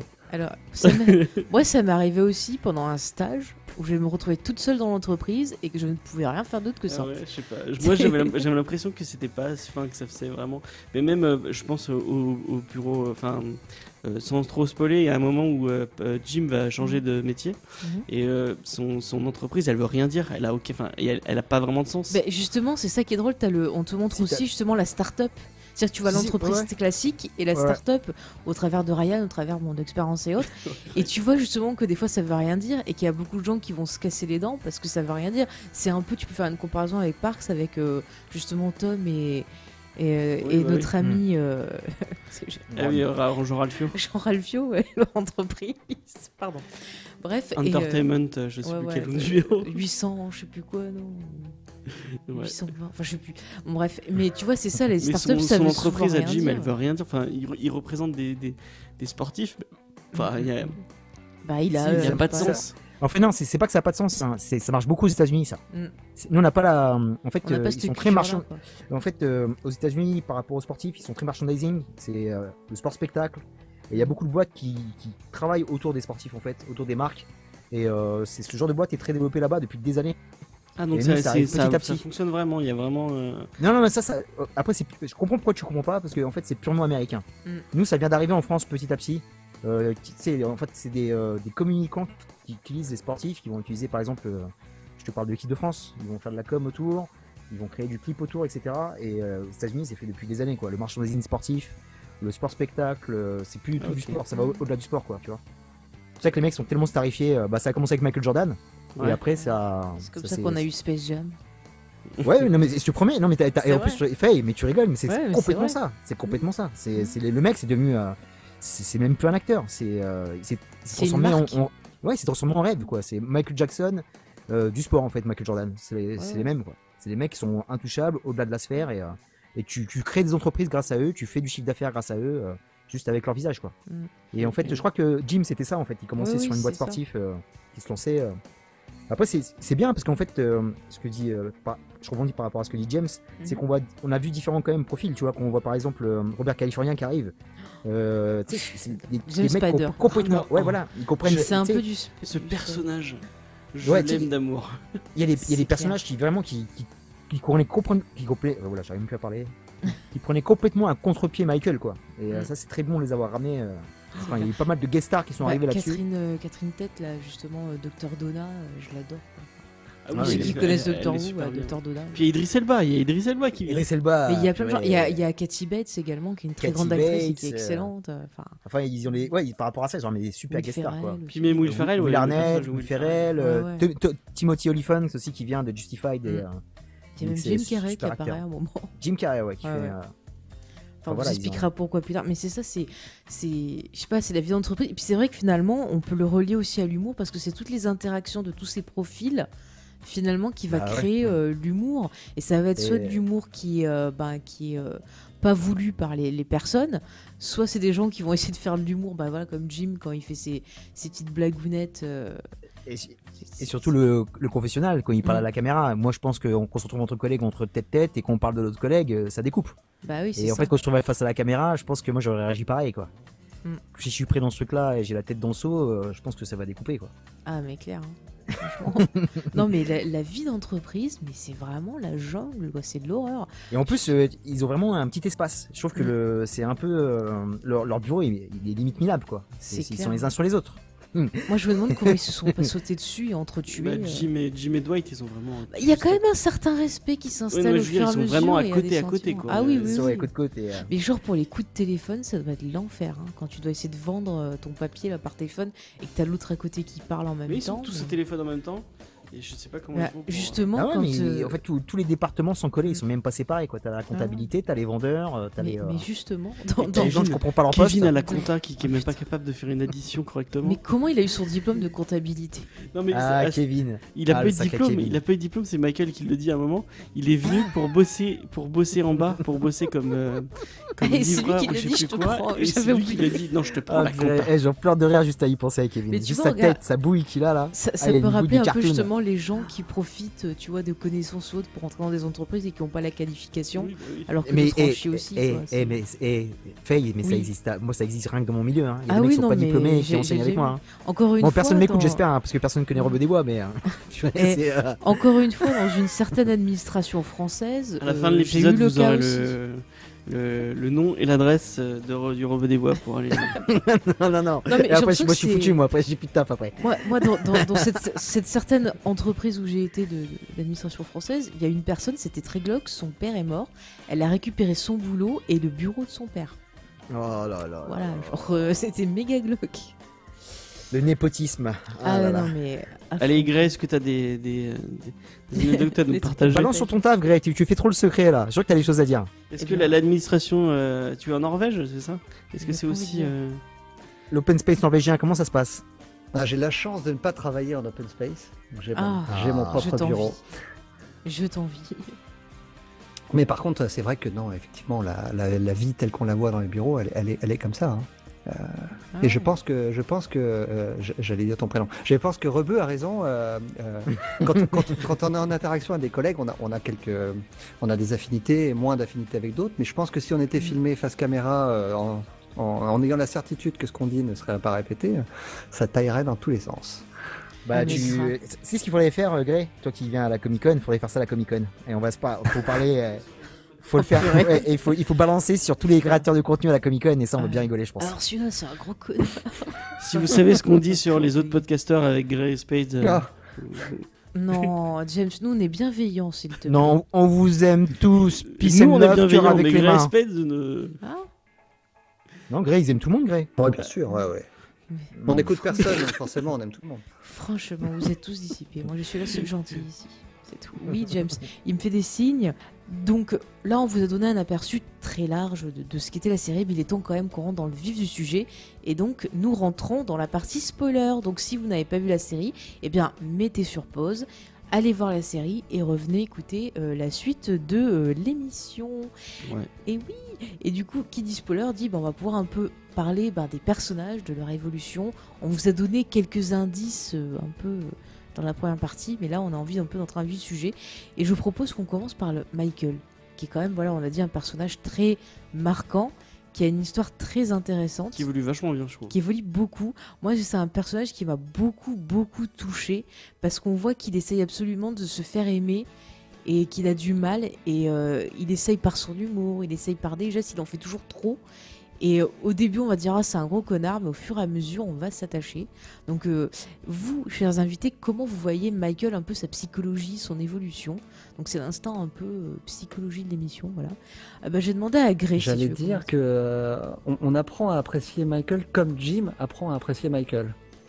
Parce au début de la série, Jim méprise mais complètement Michael parce qu'il méprise son travail, il méprise l'endroit où il est, il méprise tout ce qu'il fait, à part Pam. Et au fur et à mesure, il se rend compte que Michael est justement quelqu'un de. Il a beaucoup de défauts, mais il est très émouvant, très attachant. Et euh, comme tu l'as dit, en fait, il, il ne veut qu'une chose, c'est d'être aimé. Mm. C'est ça, hein, il veut que d'être aimé. Et euh, du coup, ça le rend. Bah, c'est un peu, tu vois, le visage du clown triste. Ah oui, c'est tout à fait ça, c'est le clown blanc. Il est, euh, moi, il y a, une, une, de ses répliques qui m'avait énormément touché à l'époque, c'est quand il expliquait à Jim, euh, il lui reprochait de, ne jamais venir au fait qu'il organisait, et il lui avait dit, est-ce que tu te rends compte le nombre de fois où j'ai préparé du guacamole pour rien? Et, ça, je trouve que cette, euh, cette réplique, elle représente très bien Michael Scott. Mm. non, mais c'est vrai. Hein. Il fait tout, il fait tout pour être aimé et personne ne lui rend jusqu'au jusqu'au moment où les gens se rendent compte en fait que ce, que ce personnage-là mérite d'être aimé aussi et il va l'être hein, dans la série d'ailleurs. Tout le monde va l'apprécier au fur et à mesure. Mm. Alors qu'au début il n'y a que Dwight qui l'apprécie mais pour les mauvaises raisons. Mm. Mais en fait, c'est ça, il en fait beaucoup trop. Il fait trop d'humour, trop de, trucs pour aider et tout. Mais il y a des instants où il va se dévoiler et où on va voir que c'est quelqu'un de sympa. Genre, par exemple, moi, une scène où je me suis dit quand même, il est, il est sympa, c'est euh, quand Jim, justement, ils sont sur l'espèce de, bateau là et qu'il y a euh, Pam qui finalement, bah, avec son fiancé, ils vont euh, lancer le, mariage. Et du coup, il est déprimé, Jim, et finalement, bah, il fait part du fait qu'il aime euh, Pam, euh, justement son patron, et on voit qu'il essaye de lui remonter le moral et tout. Bon après, ils vont un peu la mèche à certains moments, mais on voit qu'il essaye quand même de l'aider, et je trouve ça, euh, j'ai trouvé ça super gentil. Il y a un moment qui est vachement touchant, c'est le moment où il apprend que Stanley a une, a une trompe sa femme, et qu'il le, sans, sans, enfin, sans, faire, sans le faire exprès, envie de le raconte à tout le monde. et du coup, il se rend compte que bah, ça, va, ça va cacher la vie de, Stanley euh, si, ça, si ça prend et qu'il va aller raconter n'importe quoi à tout le monde. et qu'il fait, il fait tout pour. Euh, enfin, vraiment, qu'il met tout son cœur euh, à essayer de faire croire. Bon, en, même temps, il se met un peu en valeur, genre, il essaie de faire passer le, la rumeur comme quoi il serait mannequin pour main ou je sais pas quoi. C'est ça, ouais, que des conneries. Mais, après, euh, c'est un mec qui est forcément bon. Enfin, mm. en fait, c'est un gamin. Il a, il a dans sa tête, il doit avoir 5 ans et demi, un truc comme ça. Enfin, mm. c'est un, un, petit gamin qui, qui voudrait que tout le monde l'aime et que tout le monde l'apprécie et que tout le monde le trouve cool. Mais tu peux pas être aimé tout. Ouais, euh. c'est clair. Bah, un truc touchant, je sais pas si vous en rappelez, c'est qu'en fait il doit virer euh, une personne et toute la journée il se torture et tout. Enfin, j'ai trouvé ça t'as peu de patrons, enfin tu sais pas, mais tu, tu dis qu'il y a peu de patrons qui seraient comme ça. Quoi. Enfin, c'est... Mm, mm, mm. Ouais, à notre époque, ouais. Je pense que ce serait un peu chaud d'entrer comme ça. Ouais, bah, c'est vraiment requin. Ouais, après tu sens qu'aussi il y a beaucoup de solitude, hein, parce que le mec il vient, euh, toute sa vie c'est son entreprise, euh, et ça le rend complètement aussi euh, quelque part enfantin, hein, tu vois, il s'infantilise avec ça. Pour lui c'est aussi sa famille, et euh, il fait limite un peu de peine des fois. Des fois, euh, franchement, j'étais vraiment gêné. Et en fait, il est tellement over the mhm. top. Dans tout ce qu'il fait, il est tellement extrême, ça le rend super maladroit. Mhm. Et il se rend même pas compte, il est complètement euh, à l'aveugle. Et, et c'est clair que par rapport à ça, il a bien évolué, parce qu'il devient un peu plus, un peu plus intelligent sur la fin. Ouais, il se rend compte des choses. Il y a tellement. sa, relation aussi avec Holly qui est super belle aussi. J'ai beaucoup, ah, aimé la chimie entre les deux acteurs. Que, que, que, j'aime dans la série. Quoi. Les deux acteurs sont excellents. Ils sont vraiment faits l'un pour l'autre. Mm. Plus que la relation toxique avec Jane. Oh, putain, n'importe nawak. Ah non, mais elle, là, où j'avais trop de la peine, c'est qu'en gros, euh, il la revoit, elle est enceinte. Et lui, il veut, comme il veut absolument une famille, il se dit bon, je vais m'entrer avec elle et puis je vais prendre le bébé et tout. Et mm. la, fille, elle lui dit même pas qu'elle a accouché. Elle se pointe comme ça au bureau avec le bébé et tout. Et il se rend compte qu'il est rejeté, qu'il peut pas avoir de famille avec elle, quoi. Et on sent sa tristesse. ouais, c'est vrai que euh, on voit pas beaucoup euh, dans les premières saisons, on voit pas beaucoup son background, donc on, euh, on, a du mal à, le situer, sûrement par rapport à une vie familiale, par rapport même par rapport au nana, est-ce qu'il est en couple, etc. Mm. Et ça se voit qu'il y a un gros vide par rapport à ça. Et, et tout ce qu'il fait après derrière par rapport à l'entreprise, que ce soit euh, même par rapport à Oscar, euh, dès qu'il apprend son homosexualité, la façon dont il réagit. Euh, il était mortel cet épisode. il va jusqu'à l'embrasser pour prouver que ça lui ah pose pas de problème. Il essaie de l'embrasser et tout. C'est pas grave. Et même au niveau du, féminisme et du harcèlement au travail, c'est-à-dire qu'à un moment il se rend compte que bah oui, il peut pas avoir tel comportement. Et on a l'antithèse qui est le, son pote, la Packers, où justement il va dire bah non, tu peux pas traiter les gens comme ça quoi. Et non, euh, mais on il voit une relation, hein. il a aucune enfin, la, relation à l'autre, il, il, sait pas, il sait pas comment faire. Quoi. Même par rapport au racisme, etc. Euh, euh, Qu'est-ce que tu dois utiliser comme mot? Un mot quand il s'adresse à Daryl avec euh, des, des, des, mots du hood du quartier. Enfin, il, est tout le temps maladroit, il est tout le temps à côté de la plaque. Quoi. Le moment où il fait sa réunion là pour la, réunion de, de, diversité ou je sais pas quoi là. Ah le truc super cringe. Ah, le, truc qui était horrible aussi, c'est qu'en fait, il fait une réunion pour accueillir euh, les nouveaux qui arrivent dans l'entreprise. C'est-à-dire qu'il y a une branche qui a fermé et donc ils viennent. On a Rachida Jones justement. Euh, qui apparaît dedans et il y a un gars qui, qui, est gros et en fait lui il voulait euh, vraiment bien les accueillir et tout et le gars il lui dit bah moi je peux pas monter sur la table parce que bah voilà j'arrive pas et lui, il comprend pas que c'est à cause de, de, son poids. et du coup, il dit Ah, mais si, vas-y, machin et tout. Et au final, bah, le gars, il est vexé. Et du coup, il prend ça pour une attaque grossophobe et il s'en va, quoi. Alors que Michael, c'est pas ce qu'il voulait. Et c'est ah, vraiment, voilà, il se rend compte. Mais après, ce qui est intéressant au niveau de l'évolution et de voir à quel point bah, les gens s'attachent à lui, c'est quand même que tous les employés, ils ont participé au tournage de son film. Le ah fameux film Michael Scar. Ah, c'était génial ça aussi. Et puis Même, et, c'est, et ouais, le départ aussi, on sent le vide quoi qu'il laisse autour de lui. Mm. C'est là que tu vois, euh, même moi qui l'ai subi au taf euh, par rapport à, à, mes hiérarchies, à mes N plus 1, on va dire. Mm-hmm. Euh, tu sens que quand tu changes, c'est pas la même chose. Hein. Des fois, tu es, critique par rapport à un, de tes chefs. Et dès que ce chef part et tu, tu prends quelqu'un d'autre, tu vois la différence. Tu dis, purée, c'est vrai qu'il était pas si mal finalement. Et j'aurais dû moins lui rentrer dans le lard, j'aurais dû être plus cool avec lui. Et ça m'a fait penser à Michael quand il s'en va un petit peu tristement. Et c'était vraiment. Euh, c'est vrai il a laissé un gros vide autour de lui, quoi. Il un gros vide. Euh. On sent l'importance qu'il avait en fait dans le bureau une fois qu'il est parti. Ouais, voilà, ouais, c'est ça qui est bien. Autant dans la série, un peu dans la série par rapport aux fans, c'est clair, mais même dans le bureau, dans la série, comment c'est incarné et tout, c'est super bien fait. Tu sens le vide, quoi. Et, la difficulté euh, de le remplacer.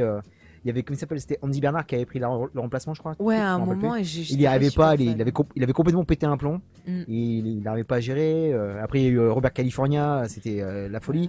Bah, il, Robert, il, est tellement génial. Robert California, le mec. non, mais le mec, il, a, il est arrivé, il voit le truc, il se casse et il va demander le poste qu'il y a au-dessus. c'est un truc de Moi, j'aime bien, c'est comment il part. Fait, mais oui, genre, il, il, fait un. Parce que c'est Jim, mais je sais plus qui qui lui font un entretien. Mm. L'entretien est nul à chier parce qu'il. Bon, c'est un personnage qui a, pour les gens qui n'auraient pas vu la série et qui a continué à écouter, euh, c'est un personnage qui a beaucoup beaucoup de confiance en lui mhm. et euh, qui, le montre beaucoup. et euh, donc il, va, il va dans son entretien, il en a rien à foutre, ça, se voit complètement. et il, sort du truc, il se fait interviewer par, les, par le documentaire, il fait bah j'aurai le job, bien sûr que j'aurai le job. Bien sûr, mais pourquoi Oh, c'est trop ça. Et il croise, il croise Dwight qui, qui, galère et il, fait, il le juge en un regard et tout. Et cette scène, elle est magique. C'est James Spader. James Spader, il, le fait trop bien, le mec euh, Ah ouais, le mec hautain, ouais. Le mec hautain, il est excellent dedans. Il est excellent. moi, j'aime bien, justement, s'il y a Catherine Ted, justement, moment qui dirige. Euh, qui est en fait une amie au départ de, de la personne qui a racheté l'entreprise. Et elle, c'est genre, elle se comporte comme une mère avec l'entreprise parce que justement au début on se dit elle est folle et tout puis au bout d'un moment on voit que bah elle veut adopter qu'elle a eu des choses tristes dans sa vie et tout et elle devient super attachante moi j'aime beaucoup le, le, personnage et je trouve que c'est une bonne adi enfin elle évolue bien je trouve euh, mm. ils ont bien fait de la garder je trouve qu'elle apporte un elle, est très très drôle comme femme. Redis-moi le nom, j'ai pas entendu, tu l'as dit Alors, il si je prends bien, c'est Catherine Tate, c'est ça qui était dans Doctor Who. Euh, ah, l'actrice anglaise, l'actrice anglaise, ouais, pareil, ouais, excellente, elle est excellente elle. Mm, non, mais ah, il y a plein de trucs comme ça. Mm. Puis je veux dire, Michael aussi, pour revenir sur son départ, mais qu'est-ce que j'ai pleuré. J'étais à la fois contente pour lui, parce qu'il avait enfin ce qu'il voulait. Je trouve mm. que c'est une belle fin de personnage, parce qu'on a la conclusion de quelque part une quête qui s'est lancée. Ils m'ont fait chialer, moi aussi j'ai chialé tant que je pouvais. Ouais, la, la, scène avec. Euh, on, on, offre avec euh, Pam qui le ah, rejoint là. Magnifique. Hein. Oh là là là Et d'ailleurs, euh, vous avez vu l'anecdote dessus? Je demande à Gré.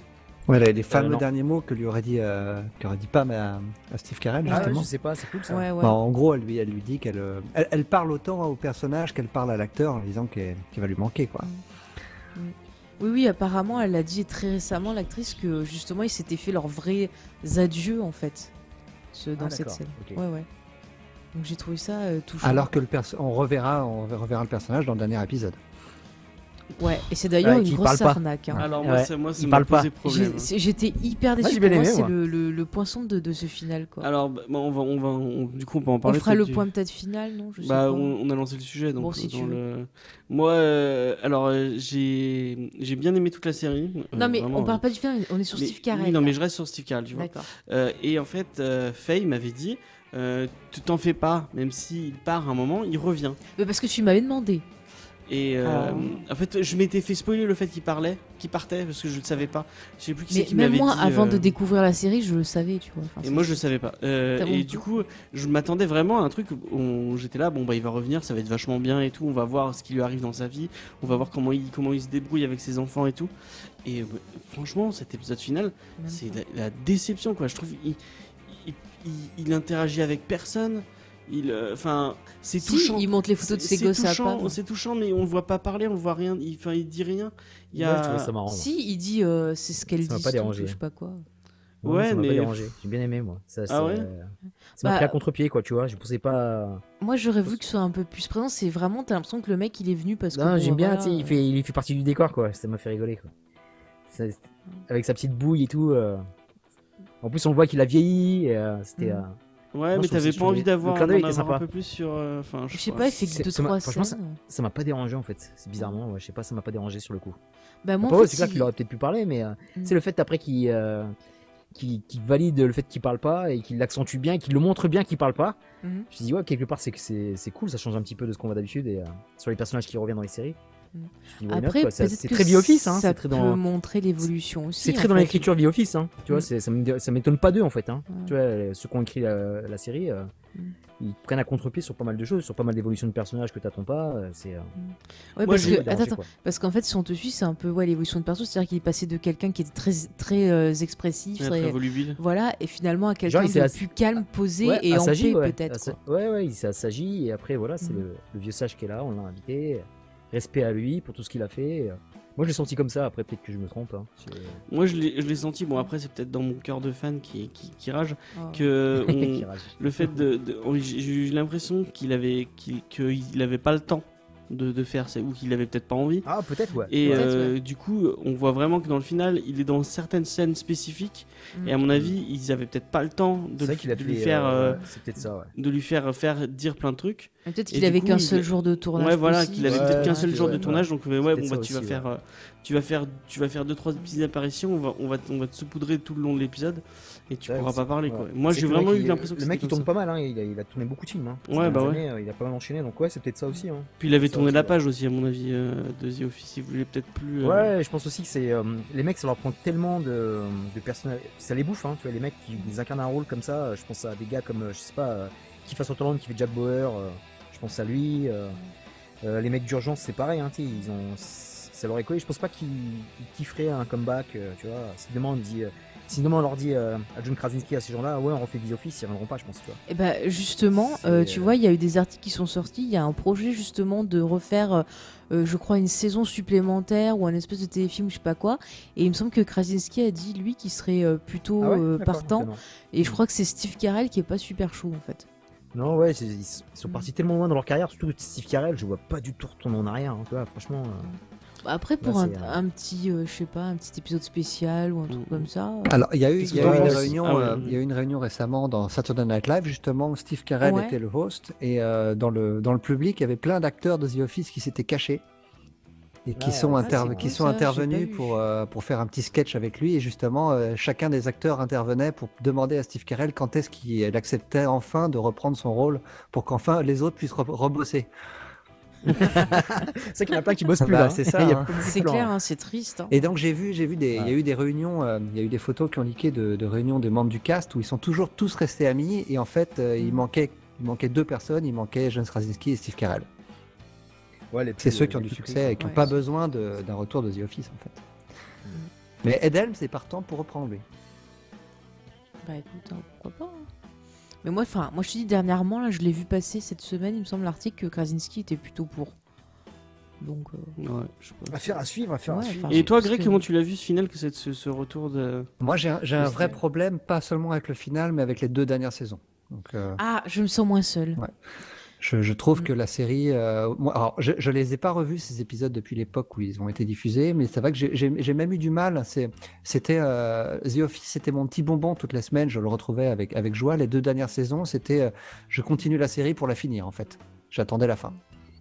Il y avait quelques éléments bien, mais c'est euh, ça, je trouve que c'était lourd en fait des fois, c'était trop étiré et tu sentais enfin le manque de, de Michael. et déjà le, créateur était euh, et Paul Lieberstein était parti euh, pour pour mm. s'occuper d'un spin-off qui verra jamais le jour autour de la, ferme des Schrott. De Dwight. De Dwight. Mm. Et je pense que déjà déjà quand Greg Daniels est parti pour pour faire Parks and Recreation, la série avait souffert un petit peu, mais là surtout à ce moment-là quand, quand aux, alentours de la, la création de cette série qu'on verra jamais. Là, vraiment, mm. on, sent qu'il continue, euh, il continue la série pour la continuer, mais qu'il manque un petit peu le cœur, ce qui fait le, ce qui fait le cœur de la série. Euh, les, en fait, les intrigues autour des personnages principaux, elles sont finies, elles sont résolues. Mm. Donc, euh, Pam et Jim, c'est fait, c'est un couple avec des enfants. Steve Carell n'est plus là. Donc, on, on doit s'intéresser à des nouveaux personnages qui, voilà, qui nous intéressent moins, qui sont peut-être plus, plus caricaturaux. Euh, bah, genre Andy, par exemple, moi, tu vois, ça me pose un vrai problème. C'est-à-dire que tout le début de la série, on te le caractérise d'une certaine façon. Et dans les deux dernières saisons, bah, c'est encore plus le, le, pauvre type. Enfin, il pète un cap sur plein de trucs. Enfin, ça me. Tu vois, son côté, genre, je vais devenir acteur, moi, ça m'a gavé. Ouais, moi aussi. J'ai vraiment, je trouve qu'il Et le personnage, le personnage qui est en couple avec, euh, comment elle s'appelle, la, la, réceptionniste euh, Eril? Oui. Ah, le mec de Silicon Valley Voilà. Lequel euh, Gavin là Ah, je me souviens plus. Gavin, ouais. Alors lui. Ah, Pete. C'est Pete. C'est Pete qui est avec. Euh, mais après, elle sort avec un autre gars, mais à un moment, elle est avec. Un grand euh, hyper maigre, j'ai oublié le nom de ce, ouais, ouais, c'est ah Gavin, c'est celui qui était avec euh, le personnage mais, mais, tu vois, tu vois il est dans Silicon Valley, lui. Oui, mais tu vois, Rebeu, le fait que tu te souviennes pas de lui, alors qu'il a un rôle hyper important sur la fin de la série, mais. Si, si, ouais, je me rappelle maintenant. Moi, je trouve qu'il aurait dû partir avec justement le perso de Betts quand elle elle revend l'entreprise et tout ça. Enfin, je comprends pas pourquoi il, reste. Quoi. Non, après, c'est pas. Après, ouais, c'est clair que c'est les, euh, les, moins bonnes dans l'ensemble. Elles m'ont mm. pas dérangé. Moi, j'étais content quand même de regarder The Office, tu vois. Après, ouais, c'est clair que c'est les moins bonnes, tu vois. C'est pas les. Euh, elles sont pas aussi transcendantes que les autres. Et après, je trouve que la fin, la fin reste assez correcte pour une fin de série aussi culte. Mm. Parce qu'il y a tellement de séries à l'époque, hein, de... la fin de The Office, il y a eu la fin de Oh, Matthew Mover, la fin de Californication. Il y a plein de séries qui sont finies à cette époque-là et qui étaient vraiment, euh, vraiment moins bonnes, moins, moins bien écrites que je trouvais celle-là très honorable. Mm. James, tu veux intervenir Ça sort plutôt pas mal. Ouais, moi, ouais, mettre vraiment euh, encore pire déception. Euh, mais euh, euh, ouais, je suis d'accord avec toi. Je trouve que Randy, voilà, c'était pas. Déjà, c'est pas. déjà, le personnage est pas si intéressant que ça, je trouve. c'est. Par contre, ce que j'ai bien aimé, bon, y a, je trouve qu'il y a, bon, même si elles sont ces deux dernières saisons, elles sont moins bien, sont mm. clairement moins bien. Il y a des, il y a des, il y a des petites fulgurances de trucs cool. Euh, je trouve que notamment ce qu'ils ont fait avec. Euh, ben, il y a toute l'évolution de Angela Dwight qui est, qui est intéressante. Mhm. Et même, je trouve que tout le délire, euh, bon, c'est un, un, peu méchant pour Angela. Avec, le sénateur. Avec le sénateur, je trouve ça intéressant. Et même la relation Angela-Oscar est intéressante. je trouve mhm. c'est, c'est clair parce qu'elle passe de quelqu'un de très intolérant ouais, homophobe, fait, finalement elle se lie avec. Enfin, c'est vrai que même ça rend Angela plus touchante. Je veux dire, moi j'avais super de la peine pour elle quand euh, justement elle se retrouve à être obligée de divorcer du gars, elle doit se séparer de ses chats. Elle se retrouve dans un appart tout petit, elle n'arrive pas à payer, en plus elle a son enfant. C'est horrible, le mec il, s'est servi d'elle. Autant Andy, euh, on, s'en fout, autant mhm. il y a certaines évolutions Ouais, ouais. Non, mais... Du cast original qui sont intéressantes. Dwight est intéressant. Ce que je disais avant que tu me coupes, c'est que tu vois, elle se retrouve, elle a épousé un gars parce que bon, elle disait ah oui, euh, il a une bonne position sociale, alors qu'à côté, ben, Dwight s'occupe pas trop d'elle, il était plus avec son histoire de contrat euh, pour procréer. Et du coup, elle s'est laissée avoir, et puis le mec s'est servi d'elle comme couverture, puisque en fait, on apprend qu'il est homosexuel. Et au final, c'est elle qui perd tout, et lui qui se retrouve genre euh, avec un tu vois, une bonne publicité autour qui continue sa vie et tout, alors qu'elle, elle en chie et elle perd tout ce qui compte pour elle. Quoi. le, truc qui a mieux réussi la série, c'est la fin de Dwight, qui est mm. vraiment touchante. Qui, Dwight finit comme il aurait dû finir en tant que, manager, de, mm. manager de la branche. Euh, vraiment, je trouve ça cool. Euh, c'est enfin. C'était un personnage attachant et cool, mais ces deux dernières saisons le mettent un peu plus en avant. Et, mm. euh, et on voit encore plus que bah, le mec qui joue Dwight, j'ai oublié son nom, il est vraiment très. Euh, il, est, il, est, très très fort et il joue mm. très très bien. Et euh, la fin de Jim et Pam, bon, Jim et Pam ils sont toujours. Ils sont toujours attends, attends, on va faire par perso. C'est vrai que par exemple, Dwight, faisons un point Dwight, c'est important. Parce que c'est quand même le gars qui. Je sais pas, il me fait mourir de rire. Il, je sais pas, il a des idées, des, des, des choses un peu bizarres comme la fois. Il s'habille en, en meuf de, de StarCraft. Ah, pour Halloween. pour Halloween ouais, ouais. Avec un moment, il s'habille aussi en, site et tout. Enfin, pas ça. Non, mais le gars, il a quand même des idées un peu folles. Je veux dire, le, le, truc de. Moi, c'est un des trucs qui m'a fait le plus mourir de rire. C'est quand il fait son, son truc euh, anti-incendie, quoi. Ah il oh fout le feu à l'entreprise et tout. Excellent. mais ça, je, pleure de rire sur cette scène. Ah, moi aussi, j'ai trop ri. Ah, mais il y a un nombre de ah, gars qui sont à mourir de rire quand ils font du parcours, Michael et, et Dwight. Parcours, parcours, parcours. Le, moment avec la chauve-souris ah bah D'ailleurs, un épisode réalisé par Joss Whedon. Ah. Et oui, il a ah, réalisé plusieurs épisodes de la saison 3. Et les frères Russo ont-ils réalisé des épisodes? Alors, euh, c'est Community. Euh, ils ont fait euh, Community, mais je crois pas qu'ils ont fait The Office. Mais sur la comédie, ça va, les frères. par contre, je parlais de Jim et Pam. Mhm. Il y a tout le moment où, quand Jim parle, c'est mais on n'y est pas encore sur Jim et Pam, on est sur, euh, sur Dwight. Oui, mais on est sur la Je veux qu'on parle l'évolution de Dwight, s'il te plaît. D'accord, vas-y. Oh, mais James et Michael Scott, en fait, il peut pas se concentrer plus de deux minutes? Non, c'est ça, c'est comme un petit gosse. Méchant. Que Dwight, au début, on peut dire que c'est un peu un, arriviste, il est un peu aigri, il est quand même assez violent, il vient avec un flingue au bureau à un moment. quand il tire dans le truc. Rien, rien que sa ah, voiture, sa voiture, ça définit le personnage, je trouve. Bah vas-y, tiens, parle de sa voiture. De, ce qu'on appelle une muscle car aux États-Unis. Euh, c'est une Transam, je crois, euh, le, modèle. Alors, je n'y connais rien en voiture. connais rien. Et c'est une espèce de, de, voiture qui ressemble à rien, mais avec un énorme moteur qui fait énormément de bruit, mais qui va pas spécialement vite. Mais bon, c'est plus pour le. C'est une voiture de kéké, quoi. Hmm. Ah, c'est vrai qu'il est très ringard avec son petit, euh, son petit téléphone justement accroché au, à son pantalon. Il a toujours des, des, chemises avec des couleurs complètement improbables, souvent jaunes. Euh. Ah, moutarde un peu là. Quand, quand en même temps, il a le voit souvent, souvent sans pantalon, il a toujours le même, euh, le même caleçon qui est, qui est plutôt vert. Ouais. Ah, il, il est tu l'amour. Hein. Ah, non, mais quand même, il, a quand même ses succès féminins, je trouve. Ouais, hein. ouais. bah ouais. c'est fou, je, Il arrive à serrer quelques meufs. Ah oui, genre au mariage de Jim et Pam. Ah, le mariage de Jim et Pam est génial. Angela, euh, une, une autre fermière, je sais pas, mais, mais je crois que c'est un peu consanguin. Ah ouais, la fermière, la, la fermière de. Ah ouais, bah, elle est super jolie d'ailleurs. Qui veut son tracteur ou je sais pas quoi. Ah, c'est un beau gosse, hein, attention. Non, mais la, famille Schrout, c'est quand même un peu spécial. Je crois qu'ils ont même des, des, des, trucs un peu nazis. Enfin, c'est un peu. Euh, ouais, c'est un peu les ch'tis américains. C'est qui déjà Parce qu'en fait, il a, à, la, fin, on découvre qu'il a une sœur et un frère. Euh, ah oui, c'est vrai. Bah, la sœur, elle est jouée par la fille qui était dans Roswell. Ouais, voilà. On découvre aussi pendant la série qu'il a eu qu'il avait un frère jumeau, mais qu'il a dévoré dans, ah le... dans le ventre de sa mère. Ce qui le rend beaucoup plus puissant. Et puis quand il fait l'espèce de super-héros là pour l'environnement, et au fur des années, on, montre que ça se dégrade. Et oui, c'est vrai. et, en même temps, il a un côté attachant quand, quand il quitte la série, euh, parce que, enfin, il quitte pas la série, quand il quitte le bureau pour aller mm. travailler, je sais plus euh, où est-ce qu'il va travailler, à Staple, je crois. Dans une, ouais, une entreprise où ils vendent des photocopies. C'est ça, ouais. Et on se rend compte que c'est ah, lui qui prenait soin de toutes les plantes. Euh, toutes les plantes du bureau meurent les unes après les autres parce qu'il est plus là pour les arroser. C'est ça, c'était un bosseur, les trucs un peu ingrats, ils s'en occupaient. J'ai bien aimé quand le. Il y avait la scène aussi qui m'avait marqué, c'est une scène rapide où euh, il y a le. L'ex de, de, Pam qui arrive pour agresser Jim, il, ah s'interpose avec sa bombe lacrymogène. mais tu sais, le, réflexe de mec de sécurité, il s'en fout quoi, tu vois, il, va direct quoi. Clair. tu l'imagines très bien, c'est le genre de gars qui a un nunchaku dans son, dans son placard au cas où. Ouais, en plus, il a une ceinture de karaté après à la fin. À la fin de la série, il, il file une ceinture de karaté. Ah oui, avec son prof. C'était trop bien ça. Il fait, son, son, truc dans le, dans le bureau.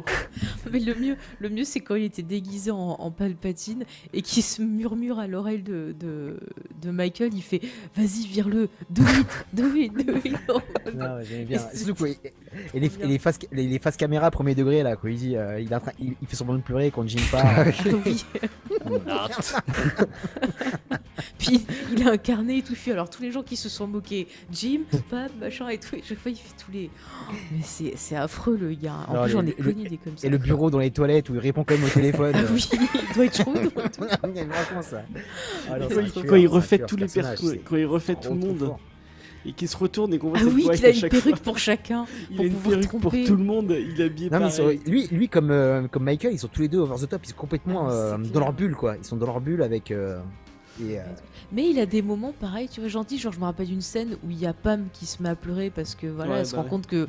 bah, elle a peut-être raté le coche avec Jim. Il, s'occupe d'elle et tout. Et on voit qu'il y a une certaine, certaine amitié qui se met entre eux. Même lui, il dit que genre dans le bureau, c'est celle qu'il préfère, c'est Pam, quoi. Mm. Ouais. Ouais, Pam, elle, est, Pam, elle est super tolérante et, et Pam, elle est super tolérante, super sociable. C'est, euh, ouais, elle est super gentille. Le canard, c'était magique. Ah oui, qui met le canard avec le micro sur le bureau de, de Jim. Ah, tout le moment où Jim, Jim devient euh, manager et que lui il l'est pas, mais c'est tellement, c'est tellement magique. Non mais tu vois c'est ça c'est vraiment le mec qui complote bah, jusqu'au moment où il va finir par y arriver il va... le premier truc qu'il va faire c'est peindre son bureau en noir ah oui et mettre un super gros bureau et tout enfin c'est mettre une armure aussi japonaise dans le bureau. Enfin, Quand ils partent, il part, il part avec Jim et je sais plus qui euh, en Floride. Ah oui. Pour euh, qu'il a l'appendicite. oui, oui, qu'il a l'appendicite, qui veut pas partir, qui revient avec sa, il, il, revient avec son, avec son, il est encore perfusé et tout. Ah pour revendre ses trucs en triangle là, je ah, sais plus ah, j'en pleure, j'en pleure. Ah, mais j'en pleure, mais il est tellement drôle. Mais pareil, tu vois, je trouve attachant, c'est un de mes persos préférés, quoi, Dwight. C'est ah, en comédie, c'est un des best, c'est vraiment un, des tout meilleurs. Ah, c'est clair parce qu'il arrive à, à, rester sérieux, à avoir un bon Mais Jusqu'au, et jusqu'au bout de la série, hein, ils ont gardé ah ce personnage jusqu'au bout. Ils alors, alors le truc, pour le côté, euh, de l'acteur qui garde son sérieux, ils avaient beaucoup beaucoup de mal, tous, sauf un, c'était Oscar, euh, l'acteur qui joue Oscar, lui apparemment, Oscar les autres n'arrêtaient pas de se moquer de lui parce que c'était le seul qui restait à rester dans son personnage tout du long. Il partait jamais en fou rire, alors que les autres, ils, ils, passaient un temps fou à tourner toute leur scène parce qu'ils passaient leur temps à se marrer. Mais moi, j'aurais pas pu tenir, j'aurais rigolé toutes les 30 secondes, hein. c'est pas possible. Surtout face à Dwight, quoi. Enfin, non, mais c'est vrai, c'est encore un personnage fort, et je pense que s'il était parti aussi, ça aurait encore. Plus non, euh, ça, aurait, ouais, ça aurait tué un peu la série, je trouve. Heureusement mm. qu'il est resté, ouais. Et, euh, Mais c'est vrai qu'ils ont tous, euh, quelque part, tu vois, ils ont tous quand même une bonne évolution, quand même. Même si des fois l'évolution est tordue, quand tu vois les Ryan, ce qui, ce qui devient. Ryan, Ryan, c'est le seul ah qui reste Ryan, salopard tout du long. Hein. C'est fils jusqu'au bout. Et d'ailleurs, j'étais bien contente quand Michael il se rend compte enfin que c'est un connard, quoi. Sur la fin, il laisse pas son bébé à je sais plus qui. Mais si, il laisse le bébé au fiancé de, de, de Kelly. Il se oui, c'est vrai. Et d'ailleurs, j'ai lu une interview de, de Mindy Colling qui euh, disait comment vous voyez euh, justement euh, Kelly et, et, Ryan. Elle fait, ah, je pense que finalement, elle l'aura tué au bout d'un moment. Leur relation, elle est magique. Mais c'est une relation toxique, quoi. C'est je ah t'aime, moi non plus. Euh, le mec, il, y a beaucoup de relations tordues quand même. Hein, au, niveau, au niveau des couples, il y a beaucoup de relations tordues quand même. Hein. Ah ouais, non, mais là. Oh là, là. Le bureau de Ryan à la fin. mais en fait, le mec, au début, il est là, euh, c'est un intérimaire. Ouais. Et en fait, il a les dents longues, comme on dit, et il réussit à la fin euh, à devenir le patron, en quelque sorte, à être au-dessus de Michael, de Michael Scott. Et puis, en fait, le mec, il commence à péter un câble, il se drogue. Enfin, à la fin, il fait plein de conneries, il finit par aller en prison. Puis il re-revient à l'entreprise parce que Michael s'est attaché à lui. Parce que le mec, en gros, il. Il a, il a une espèce de rédemption quand il, quand il commence à bosser dans la Michael Scott Company avec Pam et, et Michael. Puis après, il redevient mm. le connard qu'il était. C'est ça, et, il fait des coups de pute à Jim, et Jim, il a jamais oublié. Et c'est vrai qu'à un moment, bah, quand il devient chef, euh, vu que le mec, euh, il en branle pas une, il le prend, il le met dans un KGB. Il y, a, y, a, y, a, un moment qui est vraiment jubilatoire, c'est quand on le retrouve justement en train de nettoyer les chaussures dans le, au bowling avec les cheveux euh, peroxydés. Ah oui, ah oui c'est trop bien. Le truc qui m'a fait rire, c'est quand justement ils ouvrent un espèce de d'Apple Store en quelque sorte où ils ont leur espèce de, machin en triangle, et Ryan lui doit faire un discours et le mec il pète un câble et il finit par dire ah bah je vais retourner voir ma mère et on le voit à l'arrêt de bus avec ses affaires et tout. Et quand il y a Mandy qui, enfin, euh, comment elle s'appelle, Kelly qui, qui part et ah oui, qui, part. pareil, il la suit, la Il la suit. Ah non, je vais pas du tout on, on le voit en interview et je pars dans, au même endroit qu'elle, mais il n'y a aucun rapport. Euh. pas du tout. mais il est trop drôle ce perso et. Euh, et du coup, on n'a pas trop de parler de Kelly, mais Kelly, elle a une espèce de relation avec lui euh, complètement. où elle, elle, est complètement obsédée par lui. Mais elle est toujours obsédée par ses relations. À un moment, elle sort justement avec, le gars Daryl, quoi. Et c'est pareil, le mec, il n'en peut plus. Mais elle est, elle est pas méchante, mais c'est juste que elle part beaucoup, elle s'attache un peu trop. Puis t'as le côté aussi, ouais, ses origines, elle est, euh, elle est, tu vois, enfin, elle est originaire d'Inde. Et tu vois que quand même, t'as une culture sur le mariage et tout. Il y a un épisode où quand même ses parents, tu vois, ils l'ont un peu saoulé sur le mariage et tout. Donc c'est vrai qu'elle est dans la recherche du, partenaire. Elle est, elle est aussi en décalage avec les autres par son côté plus jeune et euh, mm. obsédée par les réseaux sociaux, par son image. C'est ça. Qui est euh, en, complet décalage avec les autres personnages de la série qui comprennent, mm. comprennent pas, même pas son langage en fait. C'est ça, elle est toujours en train de parler. Bah, de... Par une fois, elle va parler des Kardashians, elle va parler de trucs qu'on a vu à la télé. Enfin, voilà, c'est. Mais moi, je l'aime bien quand même. Bah, il en faut une, comme ça, ça équilibre un peu le casting. Ouais. Il en faut une comme ça, tu vois. Mm. Et tout pour l'époque, il n'y avait pas tant que ça en fait dans les séries. C'est clair. On n'a pas parlé du comité des fêtes aussi. Euh. Ah, le fameux euh, comité des fêtes aussi, dirigé ah par Angela. Donc on l'a dit, ah bah, Angela, forcément, tu penses, qui, est pas tu penses fête, tu hein. penses Angela. Euh, le premier choix. Oui, Phyllis en deux. Hein. Bah, D'ailleurs, Phyllis est dans le comité. Hein. Ah oui, oui. D'ailleurs, elle s'en prend plein la gueule.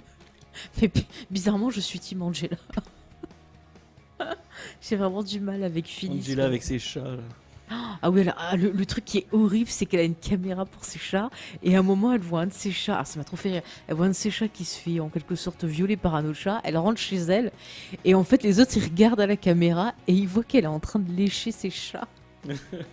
et le pire, c'est quand elle revient au bureau, elle crache des poils. J'en pouvais plus. Mais bizarrement, je trouve que c'est la femme qu'il fallait pour Dwight. Ah bah Ils se complètent, quoi. Avec leur, leur rendez-vous dans le, dans, le, dans le fameux euh, espèce de KGB, je sais pas quoi. Là. Mais c'est là que c'est marrant parce qu'à chaque fois, quand, elle découvre qu'ils ont été filmés, genre elle est en mode euh, choquée parce qu'elle elle veut pas que ça se sache. Mais ils sont vachement intrusifs hein, quand même, ce documentaire. Hein. C'est clair. Parce qu'ils filment, ils filment vraiment tout. Hein. Bon, en même temps, ils sont capables de faire ça au bureau. Hein. Tu fais ça chez toi, tranquille, euh, je sais pas moi. Je sais pas si vous vous souvenez du moment où t'as Jim et Pam qui dorment dans les. Parce qu'ils ont. Il y a un coin pour les siestes ah euh, créé par les, les mecs, du, mecs d'en bas.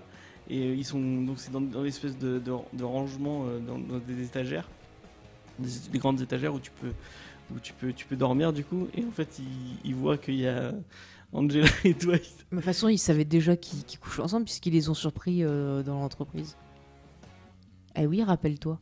Ils faisaient ça dans le bureau. Oui, non, mais c'est euh, comme ça. Enfin, même pas, tu te mets à leur place. Ça quand même reste. Euh, oui, mais ils ont déjà. C'est pas la première fois, quoi. C'est ça que je te dis. Cette oui, qu'ils assistent aux ébats et qu'ils sont obligés de rester. Ah, oui, bon, là, c'est un peu plus glauque, en effet. Et vous, du coup, au niveau d'Angela, qu'est-ce que vous retenez d'elle? Ah, Franchement, c'est un super, euh, c'est un super personnage. Elle incarne super son personnage de, peste. Et, euh, mhm.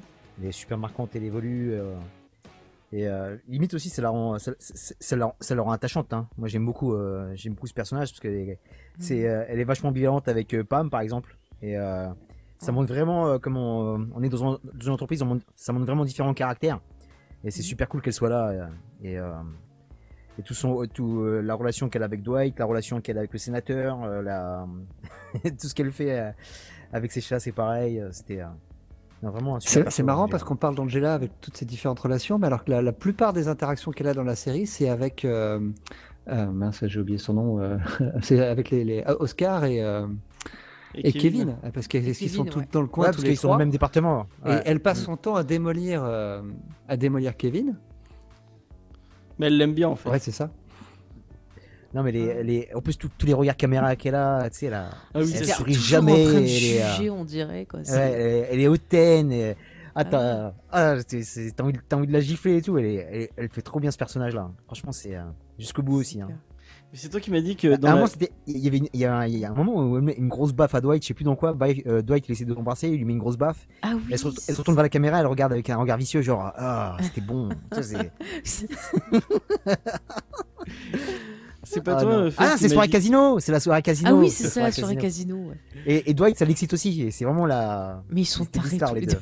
non, non, non, mais il y avait, c'est ça, c'est les relations de bureau, hein. tout ce qui se passe. Euh, en coulisses, mm. c'est. Euh, ah, mais le coup de, faire ce, ce, contrat justement pour procréer et tout, ils prennent genre limite un avocat euh, pour contrôler tous les points et tout ça. Je suis, mais ils, vont, ils sont taillés quoi.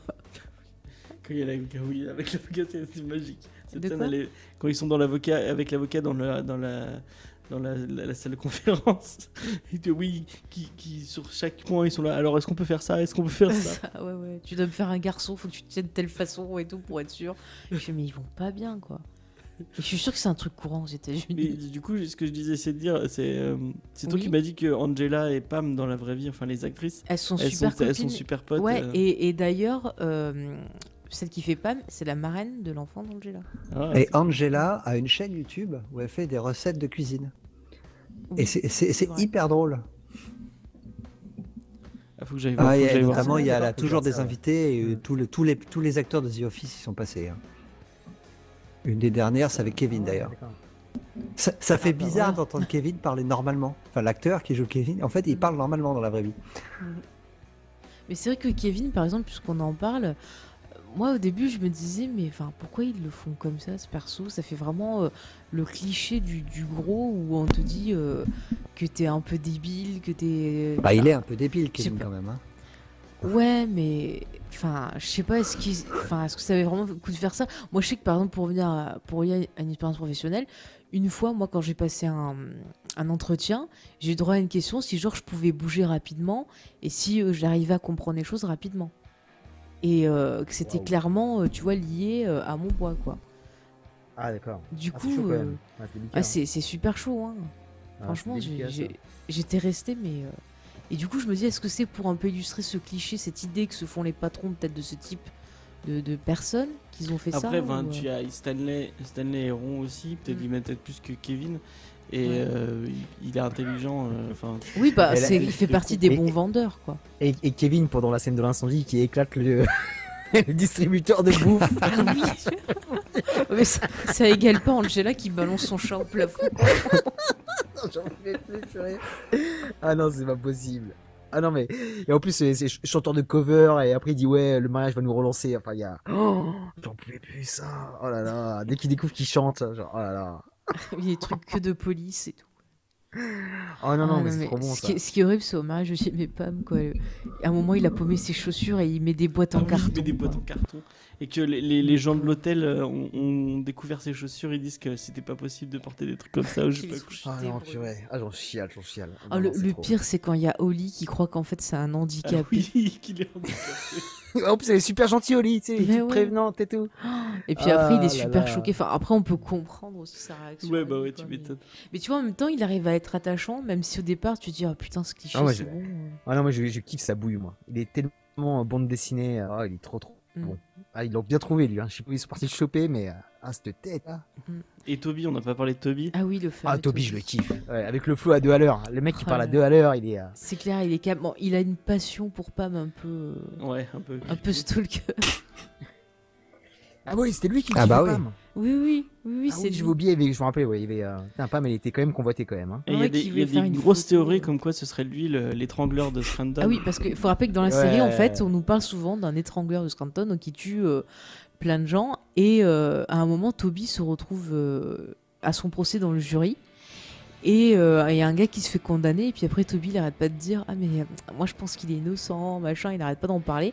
Et du coup, il y a plein de gens sur internet qui ont fait une théorie en disant que, soi-disant, les meurtres de l'étrangleur, on commence à en parler quand Jim et Pam sortent ensemble. Et qu'il y a plein de fois où Toby a un comportement bizarre, et le fait que bah, il ait cette obsession pour. pour Pam? Non, oui, pour Pam, mais aussi pour l'étrangleur et tout. Ah et puis qu'ils disent qu'il y a un moment vers la fin, il va voir le, la personne qui a été. Euh, oui, il fait un podcast. Oui, voilà. et en fait, il y en a qui disent que c'est pour s'assurer que le mec, en fait, euh, le dénonce pas et tout. Enfin, il y a tout un truc de conspiration sur ça. Alors, qu'est-ce que vous en pensez? Est-ce que vous pensez que Toby est ce fameux euh, étrangleur? Alors, je vais demander d'abord à Grey, et ensuite on demandera au Rebeu. Aucune idée. je, je pense que Michael Scott en rêve. Ouais, c'est. Euh, moi, je pense pas que ce soit, le... je, pense pas que ce soit l'étrangleur. Il est, euh, À part si vraiment c'est un schizophrène, il cache bien son jeu, euh, parce que le mec, tu sens qu'il ferait pas, une... il ferait pas de mal. Il, a juste aucune personnalité en fait. C'est le. Il est invisible. il est complètement effacé. Il est.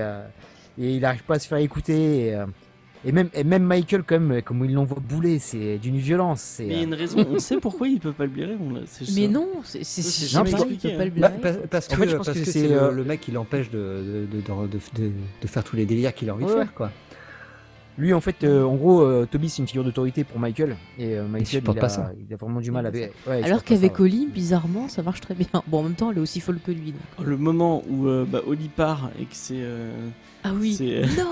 D'ailleurs, ça c'est voilà un des plus célèbres gifs qui revient souvent. Ah le no, le oh, no, euh, ah, je l'ai utilisé dans les vidéos YouTube, celui-là il est partout. Hein. Je, je, repense à un truc aussi.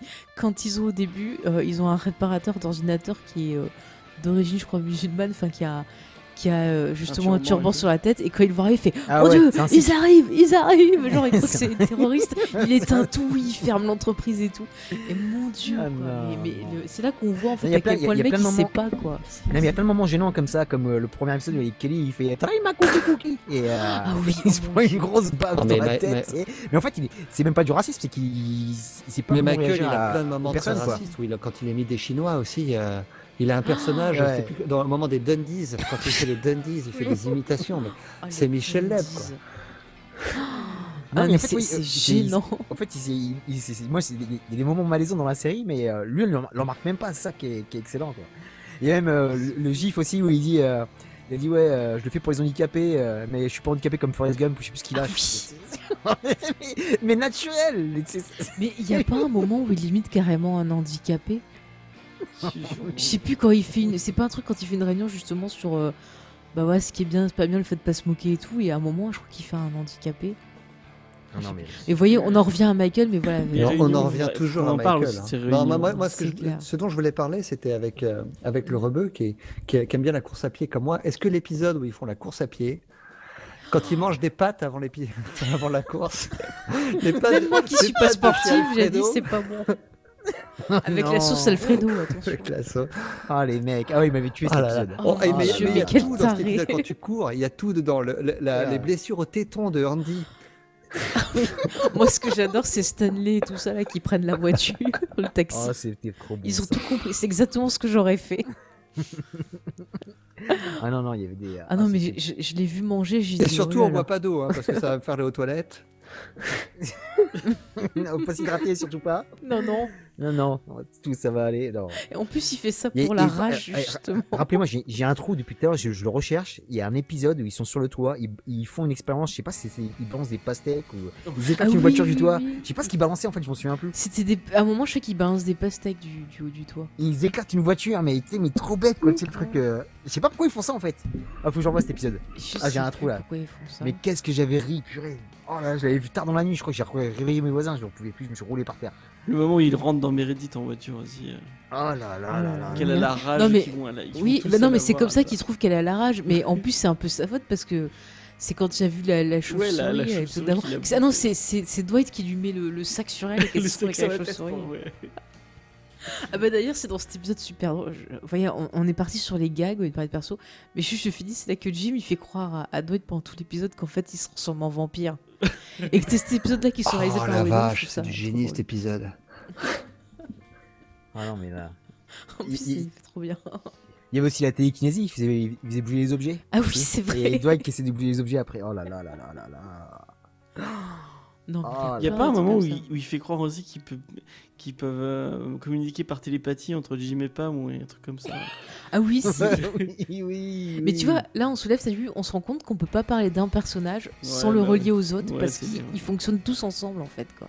Ouais, non, c'est vrai qu'il y a toujours de l'interaction euh, entre tous. Il n'y a pas un personnage qui est mis à part. C'est les relations entre chaque perso qui sont intéressantes. Ils évoluent ensemble. Et, les petits détails qui, rendent la série complètement réaliste. Moi, je, je pense à un autre détail. Euh, il y a un, épisode où on voit la, bataille pour le thermostat, savoir quelle température est à faire dans le bureau. Mais ça, on l'a tous vécu. Si on a travaillé dans un bureau, ah on l'a tous, vécu. Hein. Voilà, les gens qui ont chaud, il est trop froid. et tu, tu, vis, tu vis aussi en couple, hein. c'est pareil. Hein. Ah, mais bien on sûr. Ouvre la fenêtre, on ferme la fenêtre, euh, on ouvre les volets, on ferme les volets, c'est horrible ça. Ça tue l'amour. Quand il change, il change la photocopieuse à un moment. Ah oui. Il n'y a plus personne qui sait comment elle marche, je sais pas quoi. Non, c'est Pam qui essaie de la faire marcher et ils la font tous chier pour ça. Et justement, c'est là qu'elle pète un câble appelé et qu'elle s'en va avec Michael pour la pour euh, son entreprise de ah, Michael Scott Company. Parce qu'elle dit je... ouais ouais parce qu'elle dit que qu'elle peut faire autre chose que, que ça quoi. Et je trouve ça beau. D'ailleurs, ce que j'ai aimé, c'est quand il revient, Michael qui dit ah ben euh, c'est-à-dire qu'il revient et il arrive à faire engager du coup Pam et Ryan en tant que, que vendeurs. Et du coup, il faut partager ben, les clients entre les différents vendeurs. Et les autres râlent. Et il y a Michael qui dit Ah, mais quand je suis parti, euh, je vous avais proposé et les seuls qui sont venus, c'est eux. Et vous voulez que, que, que je les vire alors que c'est les seuls qui m'ont soutenu? Mais non, quoi. Enfin, moi, je comprends sa façon de réagir. Enfin, moi, j'ai trouvé ça. Et là, c'est pareil, on voit, c'est pareil quand tu es dans, dans une famille, par exemple. Parce qu'on a beaucoup ce côté familial dans la série. Dans une famille, des fois, ben, on va être déçu par certains, on va avoir des disputes et autres. Et on retrouve ça dans, dans The Office. Quand ils, vont, ils partent vendre avec, euh, avec, avec Jim et que t'as as Scott qui enfin Michael qui tombe dans, ah, dans le dans le truc de dans l'espèce d'aquarium de je sais pas quoi là. Ah on se rend compte qu'en fait c'est limite euh, Jim qui l'a poussé. Non il a pas poussé il s'est écarté pour qu'il tombe dans le, bassin de carpe. bah, tu, tu, parlais de où il est déçu, le, la, déception dans les yeux de. Moi, ça me fait mal au cœur. ouais, c'était bon ça. non, mais il y a ah, plein de trucs comme ça. Et ah, faut que je me refasse. C'est vous m'avez trop saucé là. Ah, mais tu vois, rien que d'en parler, j'ai oh envie de me les refaire alors que je les ai vus il y a pas longtemps. Et, c'est ah, un, des, des, problèmes. La série n'existe pas en Blu-ray. Mm. Ouais. Elle est qu'en DVD. Ouais. Et en, DVD, par contre, tu vois, par exemple, la saison 5, j'arrive pas à la trouver. J'ai réussi à ah, choper facilement hmm. les, les quatre premières saisons. Mais la saison 5, hmm. elle est en rupture de stock. Et quand tu la trouves genre d'occasion, les gens te mettent à un prix super cher. Il y a un coffret pas trop cher où il y a la complète en fait. Donc je pense que maintenant tu risques d'avoir du mal à trouver les saisons individuellement. Euh. Ouais, mais quand j'ai voulu l'acheter, en fait, les coffrets, euh, bah, ils étaient un peu chers. Donc, euh, bah, je sais pas qu'ils vont faire une bonne copie de Blu-ray et cette série le mérite. Hein. Ah, mais c'est clair. Mais bon, quand on voit que par exemple Parc et Récréation, c'est toujours pas sorti en, en DVD chez nous. Elle a pas été diffusée en Si, sur bah, Canal Plus. Parc, c'est moins légendaire que. Ouais, que The Office, ouais. Alors qu'elle est très bonne aussi, mais. Euh, mm. On fait un petit point sur Parks ou pas Ou on le fait pas C'est ce que j'allais dire. Est-ce qu'on a des recommandations autres que The Office? Les recos, les recos. Attends, sur les Est-ce qu'on a tout dit ce qu'on voulait sur la série? Est-ce qu'il y a des points que vous voulez parler Après, on a sur, sur le final, sur le final, on a parlé un peu de Michael Scott, mais quand même un peu sur le final. C'est-à-dire, est-ce que vous étiez content Est-ce que la série était, mm. c'était temps qu'elle se termine Pour moi, pour moi, il était temps qu'elle, se, termine. Ouais. il était temps qu'elle se termine. 9 saisons, c'est quand même, euh, c'est énorme. 9 euh, saisons quand même maintenant. Et, est-ce que, oui, tu disais. Dis-moi, dis-moi, vas-y, non, non, Mais du coup, qu'est-ce que vous avez pensé de ce final? Est-ce que vous trouvez que finalement, ils ont bien conclu ben, toute, euh, toute cette aventure, toute cette évolution de personnage? Moi personnellement ça m'allait. J'ai, pas mhm. été. c'est vrai que moi je l'ai vu bah, en direct quand est sorti la série donc j'ai beaucoup de recul, ça fait vraiment des années, là, je me suis replongé dessus euh, exprès pour le podcast. Et euh, c'est là que je vois que c'était vraiment énorme, mais euh, c'est clair que j'ai pas de. Je suis d'accord avec vous sur, que, sur le, fait que les deux dernières saisons ça, ça a baissé. la qualité de la série globalement a baissé. Mais c'était toujours agréable à regarder, c'était c'est quand même un petit doudou quoi, tu vois. J'étais content de les retrouver. C'est des personnages que j'aime beaucoup et, et, je trouve que la saison c'est une fin honorable. Hein. Pour une fin de série qui est aussi culte et de sortir comme ça, ils se sont bien sortis parce que euh, peu, peu, peu, de séries euh, avec ce format ont, réussi à, ont réussi à partir euh, correctement. Je pense à Friends. Et je pense aux catastrophes, comme je, le redis, redis, et Californication et Royal Met Your Mother. Moi j'ai bien aimé. Friends aussi, hein, c'est une catastrophe hein, la fin de Friends. Ah ouais, Friends. non, c'est pas une catastrophe, mais je suis pas d'accord. Ah, en fait, tu sens que c'était la série qu'il fallait arrêter, quoi, tu vois. tu sens qu'ils sont, ils étaient pressés, tu vois. Alors que là, je trouve que ça s'est fini euh, calmement. J'ai pas senti euh, la hâte. Ils ont, ils ont fait ça proprement. Et après, euh, je suis pas, je suis pas vraiment déçu. après la série, il était vraiment temps qu'il s'arrête au niveau des audiences. Oui, voilà, il était temps. Parce que les, audiences étaient catastrophiques sur la fin. Je suis pas trop les audimat, ouais, mais. mais je pense que le départ de, le départ justement de, c'est le mec que ce que tu de Karel justement ça a vraiment porté oui bien sûr bien sûr. Ça on comme toujours quand tu regardes la 70 Show c'est la même chose. Mm. Hmm. C'est ouais, c'est très difficile quand t'as un tel public et euh, de, finir correctement et euh, je trouve qu'ils ont fait un bon boulot quand même, ils se sont bien sortis. C'est clair, même au niveau justement du documentaire, on voit justement parce que ça a impliqué pour eux, on voit genre un an après, bah, qu'est-ce que ça leur a apporté le documentaire, enfin, je trouve qu'il y a plein de choses intéressantes.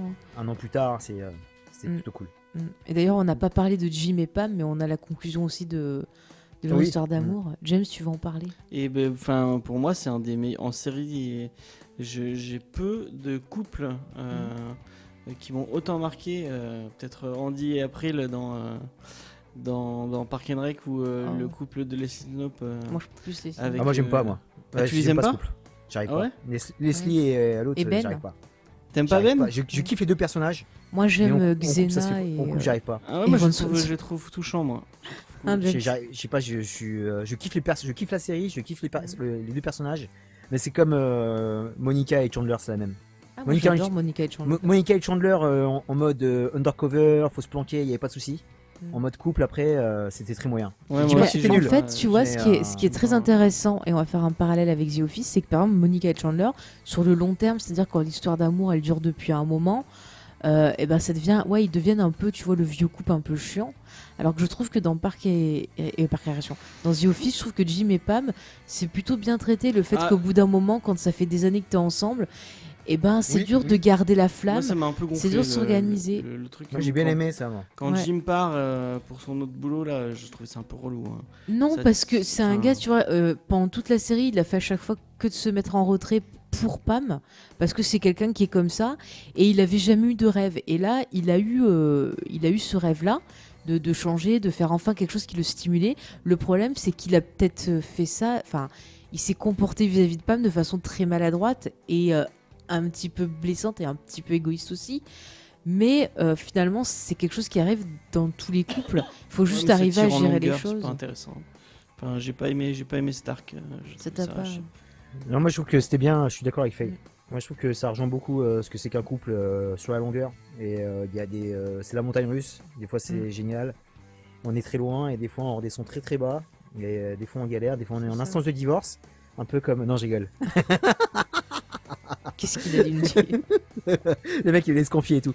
Non, non, mais non, c'était vraiment, c'était un couple. déjà, c'était un couple hyper touchant et, j'ai beaucoup aimé le fait que on comprend dès la première saison qu'ils vont être ensemble, que c'est les âmes sœurs, mais ils prennent leur temps, ils prennent tellement leur temps, ils les font tellement galérer que j'ai tellement kiffé. Euh, juste le premier bisou, c'était magnifique. ah, c'est magnifique. Mais tu, vois, ils sont amis et du coup, il, y a aussi ce côté genre perdre l'amitié aussi. La façon dont elle lui dit, elle lui dit, euh, j'ai peur de te perdre comme ami.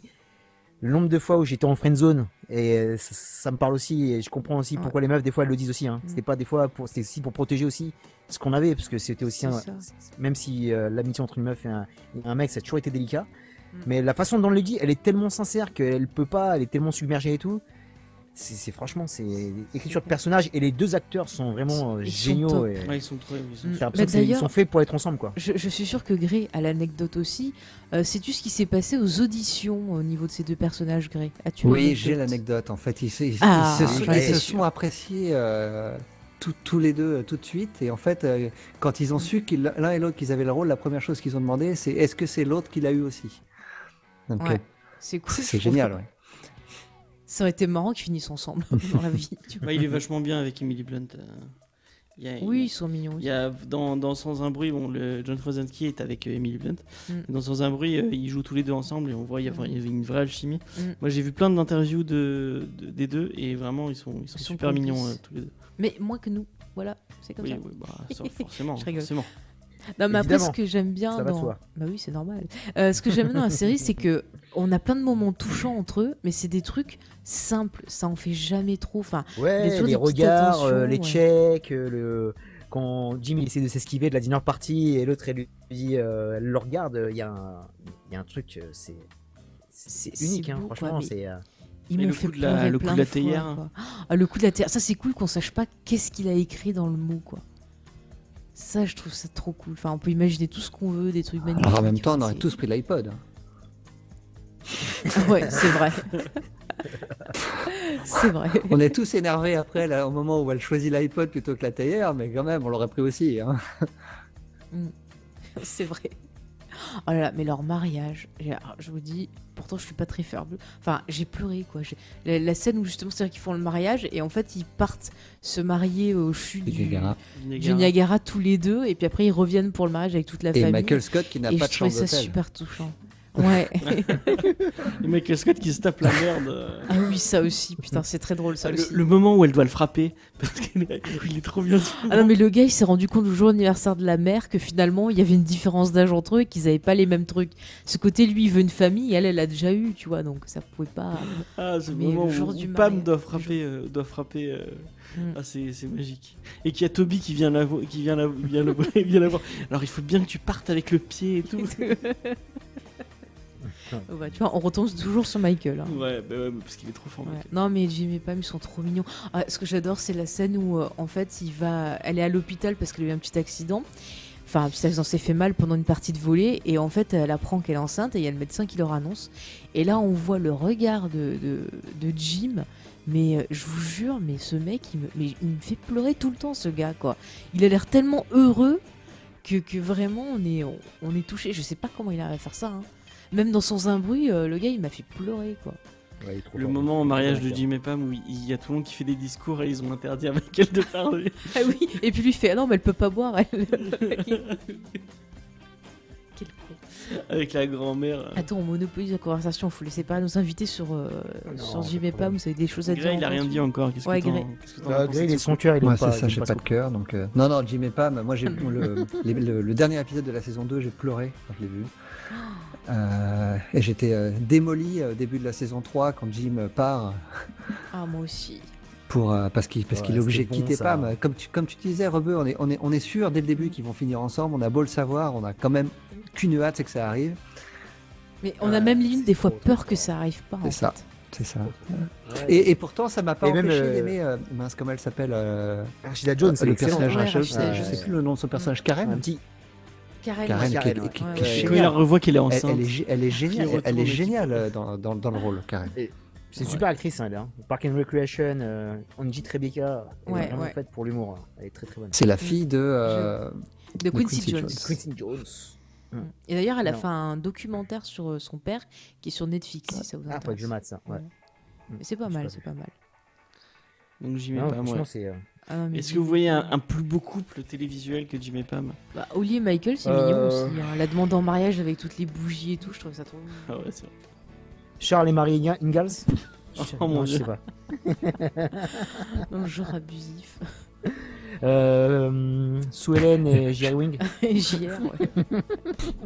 Elle est pas avec Bobby, elle est c'est pas avec Bobby, Sue Ellen Non, c'est Ah, pas Pamela. ah, c'est Non, Pamela. c'est Pamela. bien sûr. Ah, Pamela. Putain, mais vous êtes Ah, vraiment des bah, vieux, moi, Dallas. Eh. Victoria principale, quelle bombasse. Mais à un moment, Sue Ellen, elle se tape pas le pire ennemi s'en fout de de, Dallas. de JR. Mais, mais oh, un jour, il faudrait que je fasse Dallas. Si, ouais, Cliff Barnes. Il y avait une Ouais, relation ouais. Mm. Ouais, ouais, ouais.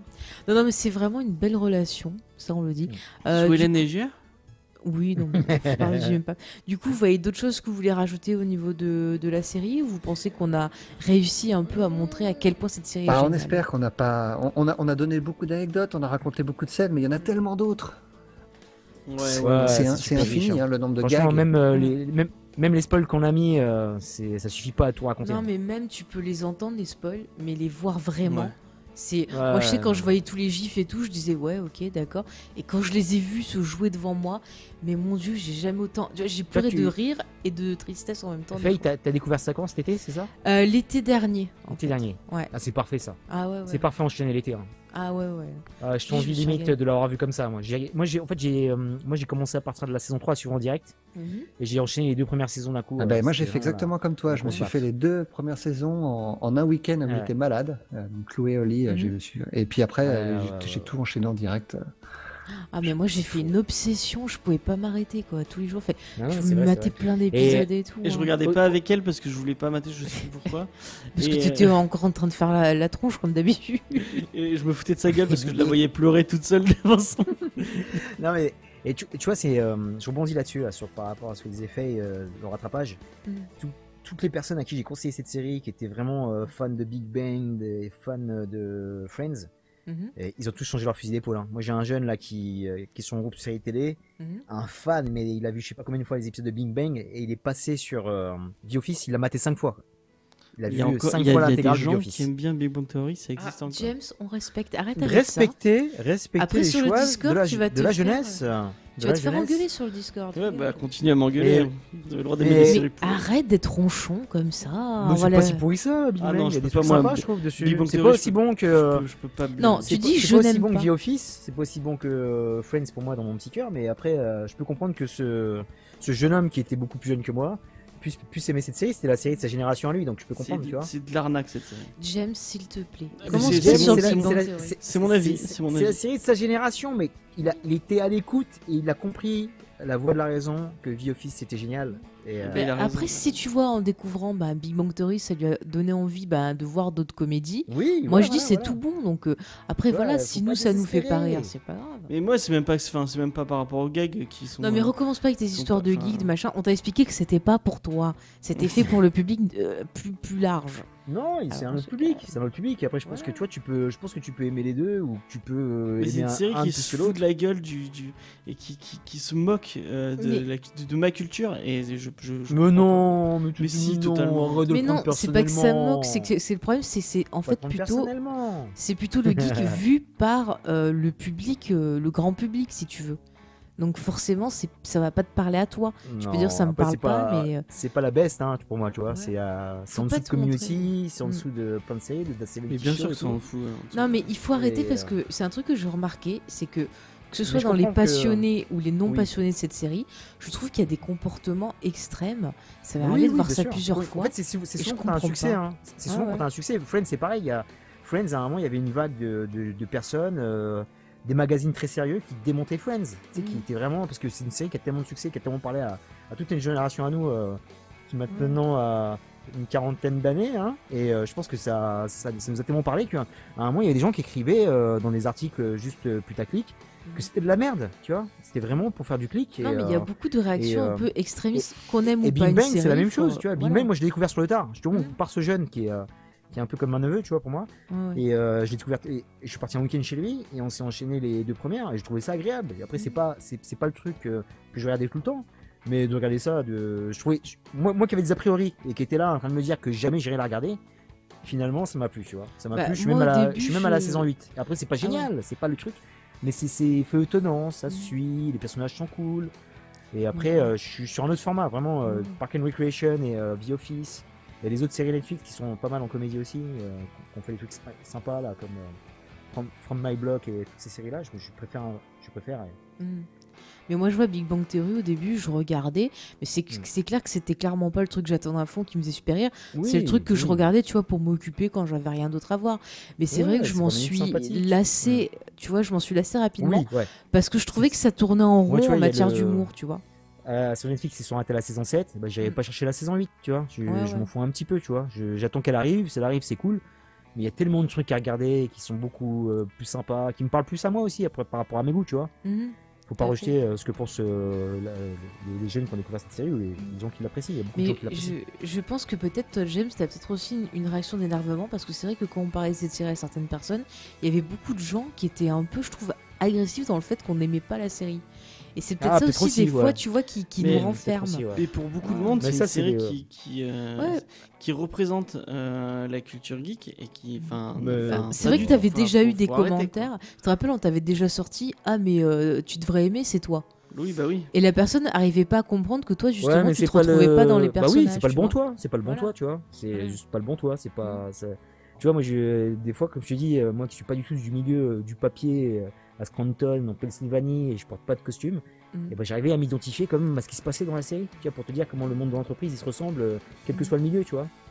C'est ça, mais en fait tout euh, vient des personnages, des situations, et euh, soit on va s'attacher, soit on va pas s'attacher. Après, il faut pas s'énerver. Ouais, et voilà, que les persos qui te. Il faut, faut, faut, être open, faut être mm. open, surtout quand on fait du contenu comme nous, on n'a pas le choix, hein, faut. C'est ça, il faut regarder, il faut, respecter les avis. Moi, je suis comme ça. Et je comprends que James, tu t'énerves au vu des commentaires qu'on a entendus et qu'on a vus. Moi, mm. je, je, pense que tu vois ce que je veux dire. Mais je comprends qu'au bout d'un moment, ça t'est énervé que t'aies du mal du coup à parler de cette série-là. C'est tout à fait normal. Et même sur The Office, j'ai déjà vu des personnes à qui je disais, bah tiens, regardez la série, qui étaient totalement fermées et qui avaient une réaction un peu, euh, pareil, un peu limite agressive parce que je leur conseillais la série, tu vois. C'est bizarre des fois. C'est un truc, franchement, non, non c'est un truc, c'est un truc qui a matché The Office comme euh, quelques séries que j'ai proposées, tu vois, que personne ne mm. regardait. Et c'est vraiment une série qui a le plus matché, quoi. Qui vraiment les gens ont, tout de suite bah, kiffé, sont tout de suite attachés au perso. Et vraiment, c'est la, et c'est la seule série que tu peux classer top 10. Par exemple, si, demain, si, demain, tu te fais un petit top 10 de toutes les séries qui sont arrêtées, qui ont été produites et qui sont parties d'un point A à un point B, qui sont finies. Et c'est la seule comédie que je peux mettre avec les grosses séries. Et pas les autres, tu vois. Friends, j'arrive pas à le hmm. mettre avec euh, aux côtés de The Shield, de Breaking Bad, de, de Benchy, des séries que je kiffe moi personnellement. je suis d'accord pour Friends, moi elle est, elle est, vraiment descendue dans mon classement, Friends. Hein. Non, non, j'aurais toujours euh, mon petit coffret Blu-ray, il est à la maison, j'aurais toujours un kiff à regarder, tu vois, de temps en hmm. temps redécouvrir ça avec d'autres personnes, tu vois, avec ma descendance s'il faut. Mais mm. je, Vie Office, c'est vraiment une autre qualité, tu vois, c'est une autre qualité d'écriture, il y a vraiment quelque chose de plus. Et, et, là, pareil, on va parler des recos, mais il y a vraiment un, héritage aussi qu'on voit maintenant, même à travers. Euh, je prends American Vandal, tu sais très bien que ces mecs-là, je pense, qui ont créé ça, ils ont eu Vie Office, tu vois, c'est un peu les petits frères qui arrivent derrière avec un, autre délire. Et, euh, ils ont, il y a une école Vie Office, enfin même Modern Family qui est, qui est, qui est pas aussi bon que Vie Office. Ah, et voilà, euh, tu vois, il y a, je sais pas, il y a plein de trucs comme ça. Il bah, Brooklyn Nine-Nine. Hein, bah, bah, Michael Schur, justement, on le voit dans le style de Michael Schur, soit après sur Parks, sur euh, Brooklyn Nine-Nine, sur The Good, bon, The Good Place, il y a moins ce côté euh, reportage, mais il y a tout un délire autre qui est quand même. Ça, fait une belle évolution. Il y a une façon de filmer dans Brooklyn Nine-Nine qui, quand même, oui, c'est pas un documentaire, mais c'est filmé un peu avec le même style, le même côté dynamique et et, euh, ouais, Vraiment, il y a l'héritage, l'héritage, il est là. il y, a un, y a un côté sympa qui, par rapport à ça, c'est cool. C'est cool. Bah voilà. Vous avez compris, Office c'est cool, il faut se donner la chance de découvrir. Et si vous avez donc euh, déjà vu la série, que vous savez pas quoi regarder, eh ben on va vous conseiller un peu d'autres programmes qui nous ont fait penser à The Office, soit des séries, des films ou autres. Et je sais qu'autour de, de, cette table virtuelle, euh, nous sommes beaucoup donc à citer Parks. Et récréation. Voilà. Voilà, et je pense qu'on fera une émission la saison prochaine. Parce que chaque année, j'essaie de faire une comédie différente et euh, voilà, je veux faire récréation. Ah, bah c'est le, le passage de témoin, Parc, hein. tu peux y aller sans problème. Hmm. Sans problème. C'est clair, on, retrouve vraiment ce côté euh, bah, vie d'entreprise, mais là, c'est plus vie euh, dans l'administration. Hmm. Ah ouais. Donc, avec. Et je crois qu'en fait, en, en, y réfléchissant, Attends, tu, tu je, je, préfère les personnages. Je préfère les personnages de Park and Rec. Euh, je trouve, il y a, y, a, y a, une finesse d'écriture, peut-être un peu plus euh, sur, sur Park, qui, qui, qui, qui, moi me parle plus. Euh, ouais. Mmh, moi, j'aime je sais pas. tout le monde. Pareil. Moi, j'aime les deux et j'aime un peu plus The Office parce que je pense que c'est peut-être ta série d'origine. Mmh. Et je suis d'accord avec toi sur le fait qu'il y a peut-être une petite finesse d'écriture et un peu plus euh, de grain sur le personnage. Je trouve qu'il y a un peu plus de sel sur, sur les persos. Bah, les persos, ils ont euh, mieux évolué, je trouve. Enfin, il y a Ron Swanson. il y a vraiment plus d'évolution. Ils sont, ils sont plus, euh, ils sont plus intéressés à leur personnage, alors que, tu vois, par exemple, des gens comme Creed ou comme Meredith, au final, c'est juste des après, attention. Ouais, mais Creed, c'est normal. Ils sont un peu moins dans Parks que dans The Office. Tu vois, ils sont un peu plus centrés sur 8 personnages max, avec 2-3 qui viennent interagir. Et euh, tu vois, genre, par exemple, Jerry, euh, Parks, c'est un peu, on va dire Creed, quoi. Enfin, même s'ils sont pas le même caractère, mais il est vraiment en arrière-plan, tu vois. Ouais, ouais, un petit peu aussi. Mais, moi, je suis vraiment pas d'accord. Je trouve que les personnages évoluent assez peu dans Parks and Recreation. Hein. Quand tu regardes le personnage de Chris Pratt, c'est le même débile du début à la fin. Ouais, mais en fait, c'est des, évolutions de carrière, je pense. Un peu plus, oui, parce que genre euh, April, par exemple, au début, elle a pas de but, et puis finalement, euh, elle se découvre bah, voilà, une conscience sociale politique. C'est Leslie qui va les, les influencer. Quoi. Même, euh, tu vois, même Aziz Ansari aussi, je mm. pense qu'il évolue bien. Pareil, April qui arrive au début, Audrey Plaza qui est complètement larguée, un peu, un, peu goth, et finalement, elle évolue bien dans l'administration. Euh, non, moi je trouve que euh, c'est plutôt pas mal, je trouve, au niveau d'évolution de, personnage. Après, c'est des évolutions de carrière. Après, c'est. Euh, non, je, pense que c'est la, la, bonne petite sœur de la série The Office. Il se trouve quoi, dessus, quoi. Bah, surtout c'est que il, trouve, au final, il, se trouve, Attends, on va pas trop spoiler quand même. Ouais, ouais, ouais, mais bah, c'est vrai qu'au départ, Parc et Récréation devait être un spin-off de The Office avant de finalement mm. décider d'en faire une série totalement différente. Non, mais ils ont eu raison. En plus, c'est cool d'avoir mm. pris, euh, tu sais, le côté euh, The Office, qui est vraiment une entreprise, là, d'avoir pris un côté, euh, genre, c'est une mairie avec le côté politique. Ouais. Et, et, et, pareil, de l'avoir transposé aussi dans l'Indiana, dans un autre endroit, avec une ville fictive et petite, petite ville de village, etc. C'était le lieu d'une grande bataille entre les Indiens. enfin, d'une bataille. Ah, mais les fresques, les fresques. Non, mais c'était. Ouais, mais il y avait. Ah, les fresques dans la mairie, quoi. le truc avec le boulet de canon, là ils ont créé un super univers, hein, je trouve, autour de, euh, autour de Pony. Indiana, franchement, mais c'est beaucoup plus dans le, dans, le, dans le délire parce que c'est euh, autant, dans le délire, dans le délire. Euh, je trouve est vraiment réaliste. Là, Parks and Recreation part dans le délire complet. La bataille entre les deux villes qui sont côte à côte, c'est complètement over the top. Non, non, non oui, il y, a, y, a un côté rêve, il y a un côté féerique, un peu Alice au Pays des Merveilles, c'est un délire quoi. C'est un truc qui est complètement surréaliste, hein, c'est un truc qui arriverait pas quoi. Oui, il faut un mur.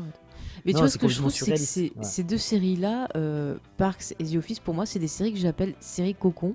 C'est-à-dire qu'une fois que je suis dedans, je suis bien dans mon petit cocon avec ces persos que j'aime et tout. Et quand ça finit, je suis toute triste de les laisser.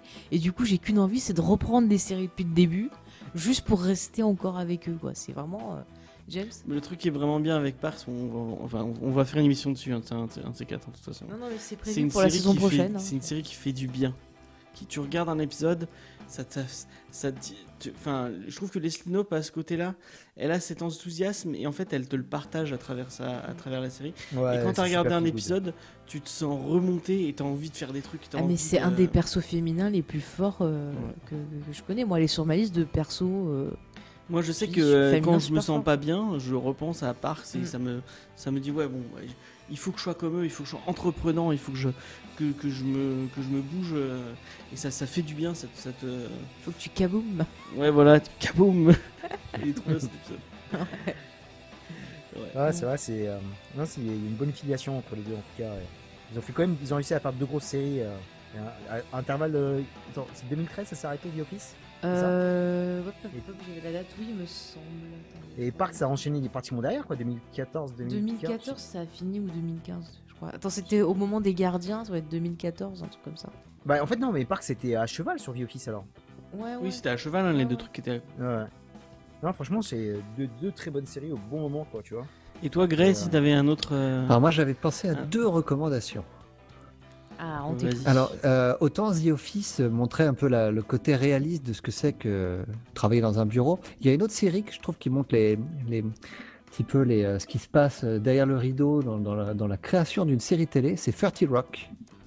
Créé. Alors, elle est sur ma liste et je l'ai pas créé Par, créé, créé, et avec Tina Fey, euh, une ancienne du Saturday Night Live aussi. Et alors, mm. par contre, pour retrouver l'ambiance de The Office, je vous conseille une vidéo YouTube enfin, c'est pas une vidéo YouTube, c'est un sketch du Saturday Night Live dans lequel Ren Wilson était invité. Et ils ont fait un sketch avec le, cast du Saturday Night Live qui reprenne l'ensemble des personnages de The Office. Donc ça dure 4-5 minutes. Vous pouvez trouver tout ça sur YouTube. Mm. Et c'est si vous connaissez The Office, c'est à mourir de rire parce que les, les, toutes les mimiques des personnages sont reprises et c'est fabuleux. Mais t'es l'air très fan du Saturday Night Live. Euh, je suis euh, comme Michael Jordan. Mais tous les plus grands comiques américains sont passés par le Saturday Night Live. Donc, si vous voulez savoir quels sont les futurs grands comiques que vous verrez dans les films euh, dans, dans les quelques années euh, à venir, ce sera dans Saturday Night Live. Greg, j'ai une petite anecdote par rapport à 30 Rock. J'étais euh, quand j'étais à New York, je suis tombé sur le tournage parce qu'en fait, il tourne à même la bah, oui, il tourne, il tourne dans le, dans le bâtiment de NBC. En fait. en fait, tu vois, euh, Alec Baldwin, moi je passe comme ça, je me balade et je suis à côté du Plaza et je vois deux trois mecs qui sécurisent euh, un mec avec une caméra et je tombe, euh, franchement, je suis à mur opposé avec, avec Baldwin qui est en train de tourner avec le black, j'ai oublié son blaze. Tracy euh, comme ça, normal, avec toute la foule qui la regarde et tu vois, et Alec Baldwin, il est monstrueux. Hein. La concentration du mec, il est tellement dans son personnage, il y a, et il y a tous les fans qui sont autour et ça fait un de ces bordels. Et le mec il tourne sa scène normale. Et franchement c'était. ah excellent, super, super, super, expérience. Et tu, tu connais, tu connais la série euh, bah, en fait, j'avais commencé euh, la saison 1, malheureusement, après avec toutes les séries qui s'enchaînent, j'ai eu du mal à, continuer, mais c'est une bonne série, ouais. Pour moi, Alec Baldwin, ce sera pour toujours euh, le mec dans, dans Friends qui prenait les photos mentales et qui était trop content d'être un, d'être un enterrement, je sais pas quoi. Moi, ce sera The Shadow. J'aime bien ce film. Moi, ce sera la chanteuse et le milliardaire. Ah oui, c'est vrai. Il avait fait un film avec sa femme, avec Kim Basinger à l'époque, je me souviens plus. Guet-apens, oui, voilà, ils avaient fait le remake de Guet-apens. Ah, aussi. Ah ouais. Mm la version originale, c'était pas avec McQueen. C'est Steve McQueen et Ali Magro, sa femme, réalisée oui, par. Oui, c'est ça, euh, ouais. Ah, ça, ah, évidemment, j'ai par Sam bien sûr. Oui, voilà. James. moi, s'il y avait une dernière, euh, je sais pas si tu, tu, tu, as pensé à des recos, toi, Faye, mais moi, s'il y avait euh, dans le côté, découvrons un peu les coulisses de euh, d'une entreprise ou d'une industrie. Euh, moi, je pense à Silicon Valley de Mike Judge. Ah, bah, j'ai pas eu. Ah, excellent Silicon. Qui est, qui est vraiment très, très, très, très, très, cool. Mm. Sur la création d'entreprise, ouais. Ouais, sur la création d'entreprise dans la Silicon Valley. Et qui est beaucoup plus réaliste qu'on le croit. Ça paraît complètement loufoque, mais en fait, ça se passe vraiment comme ça. c'est fou. C'est super dur. Ouais, bah, j'ai entendu parler plein de gens qui travaillaient dans l'informatique qui disaient que bah, les trois quarts des trucs qu'ils disaient, ça, ça va être, euh, être vrai. Elle est vraiment violente cette série. Hein. Et euh, c'est très très fou. Et euh, il y, mm. y, a beaucoup de personnages que vous aurez vu. Bah, il y, a le frère de Dwight, est joué par un des personnages principaux. Gavin, mm. qu'on a parlé tout à l'heure, est un personnage principal de, de, Silicon Valley. Mm. malheureusement, il y a le mec de, de Deadpool, mais je crois qu'il est parti. Ouais, il a quitté la série. Je crois qu'ils l'ont un peu viré aussi. Euh, en tout cas, c'est une série que moi je conseille vraiment. C'est vraiment très très fort. C'est une série de HBO et c'est mm. très très très drôle. Euh, Après, on, peut, on peut encore faire des. On peut faire des recours Oui, attends, j'en ai juste une affaire et puis ah, euh, moi, par contre, si vous voulez, par exemple, alors c'est pas gay, et je conseille pas toutes les saisons. Mais si vous voulez découvrir un peu bah, comment ça fonctionne la télé-réalité, moi je vous conseille de regarder au moins la saison 1 de Unreal où c'est euh, en ah, gros, c'est génial Unreal. Voilà, on vous montre un peu bah, une émission style euh, le Bachelor, euh, truc comme ça. Mais c'est le rebeu, il aime tout en fait. non non mais c'est ah, marrant. Moi, j'ai hein. pas du tout accroché cette série. Alors moi j'ai aimé la première saison et j'ai décroché dans la saison 2 parce que ça va trop sur le, le trash. J'avoue, j'aime bien l'actrice principale, c'est pour ça que je l'ai mis un peu. Laquelle Celle de Roswell ou l'autre T'es fan de Roswell Ouais, c'est dans mes goûts en fait, c'est pour ça et euh, j'arrive pas à décrocher. Non, mais j'ai pas suivi laquelle, celle qui était dans Roswell ou l'autre? Non, l'actrice principale, la brune, la petite brune. Oui, mais elles sont deux brunes, il y a la méchante et euh, la productrice. Non, pas celle d'entourage, pas celle d'entourage, l'autre. Ah, elle était dans entourage, d'accord, je savais pas. La, la, méchante euh, brune avec la petite cicatrice sur la bouche, elle est dans entourage. Ouais. Et t'as la brune là. oui, de Roswell. Celle de Roswell. Roswell, voilà, qui est dedans là et les deux, elles sont bien, hein, franchement. Les deux sont excellentes, hein, elles sont très mm. complémentaires et très très garces. Et euh, ça passe super bien. J'ai bien, moi, j'ai. Euh, c'est une bonne série d'été en fait. C'est clair, c'est ça exactement. Ça passait bien. 10 épisodes, 40 mm. minutes, c'était parfait. Le format était bon en fait. Et puis on voit vraiment à quel point ce milieu c'est. Et après, ouais, c'était. C'est un, quoi. Ça fait un milieu très hein. très dégueulasse en fait. Ouais, mm. très dégueulasse. Ouais, ça... je me dis, les jeunes là, qui sont enfants là-dessus, regardez cette série. Et peut-être que vous arrêterez de regarder vous, la les jeunes. Vous les jeunes là qui vous écoutez. La jeunesse. Alors, je peux, Vas-y. Je, peux passer mes recos Vas-y. Alors j'ai trois recos, moi c'est deux films. Que trois. Ouais, j'ai. Euh, c'est rapide. Hein. Alors le premier film, c'est un film de Lars von Trier qui s'appelle Director, qui est vraiment excellent. Director de Lars von Trier, qui est vraiment très bon. Je l'ai vu au cinéma.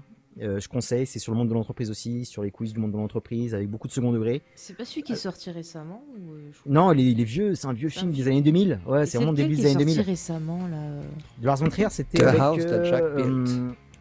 ah oui, voilà. Avec Matt Dillon. Alors rien à voir, là c'est beaucoup plus gay et c'était Lars von Trier qui était moins dépressif et qui n'était pas encore euh, le Lars von Trier qu'on connaît, du Festival de Cannes et ses frasques. Mhm. C'était autre chose. Et euh, un autre film aussi que j'aime beaucoup, enfin, allez, j'en place deux vite fait. Euh, le coup près de Costa Gavras, avec très très bon. Brésil, qui se passe ah aussi de Thierry Gilliam, qui est un, qui est un incontournable, il faut absolument l'avoir vu. Mm. Et un bouquin que j'aime beaucoup, c'est L'Open Space m'a tué. Je crois que c'est je me rappelle plus des auteurs. En tout cas, c'est l'Open Space m'a tué.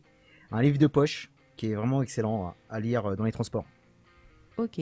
Bah, moi, tiens, puisqu'on parle de livres, j'en ai un à conseiller. C'est un bouquin d'Amélie Nothomb qui s'appelle Stupeur et Tremblement et qui raconte en fait euh, bah, son expérience dans une entreprise japonaise. Et euh, c'est vraiment, mais moi je l'ai dévoré quoi. On voit, elle, passe.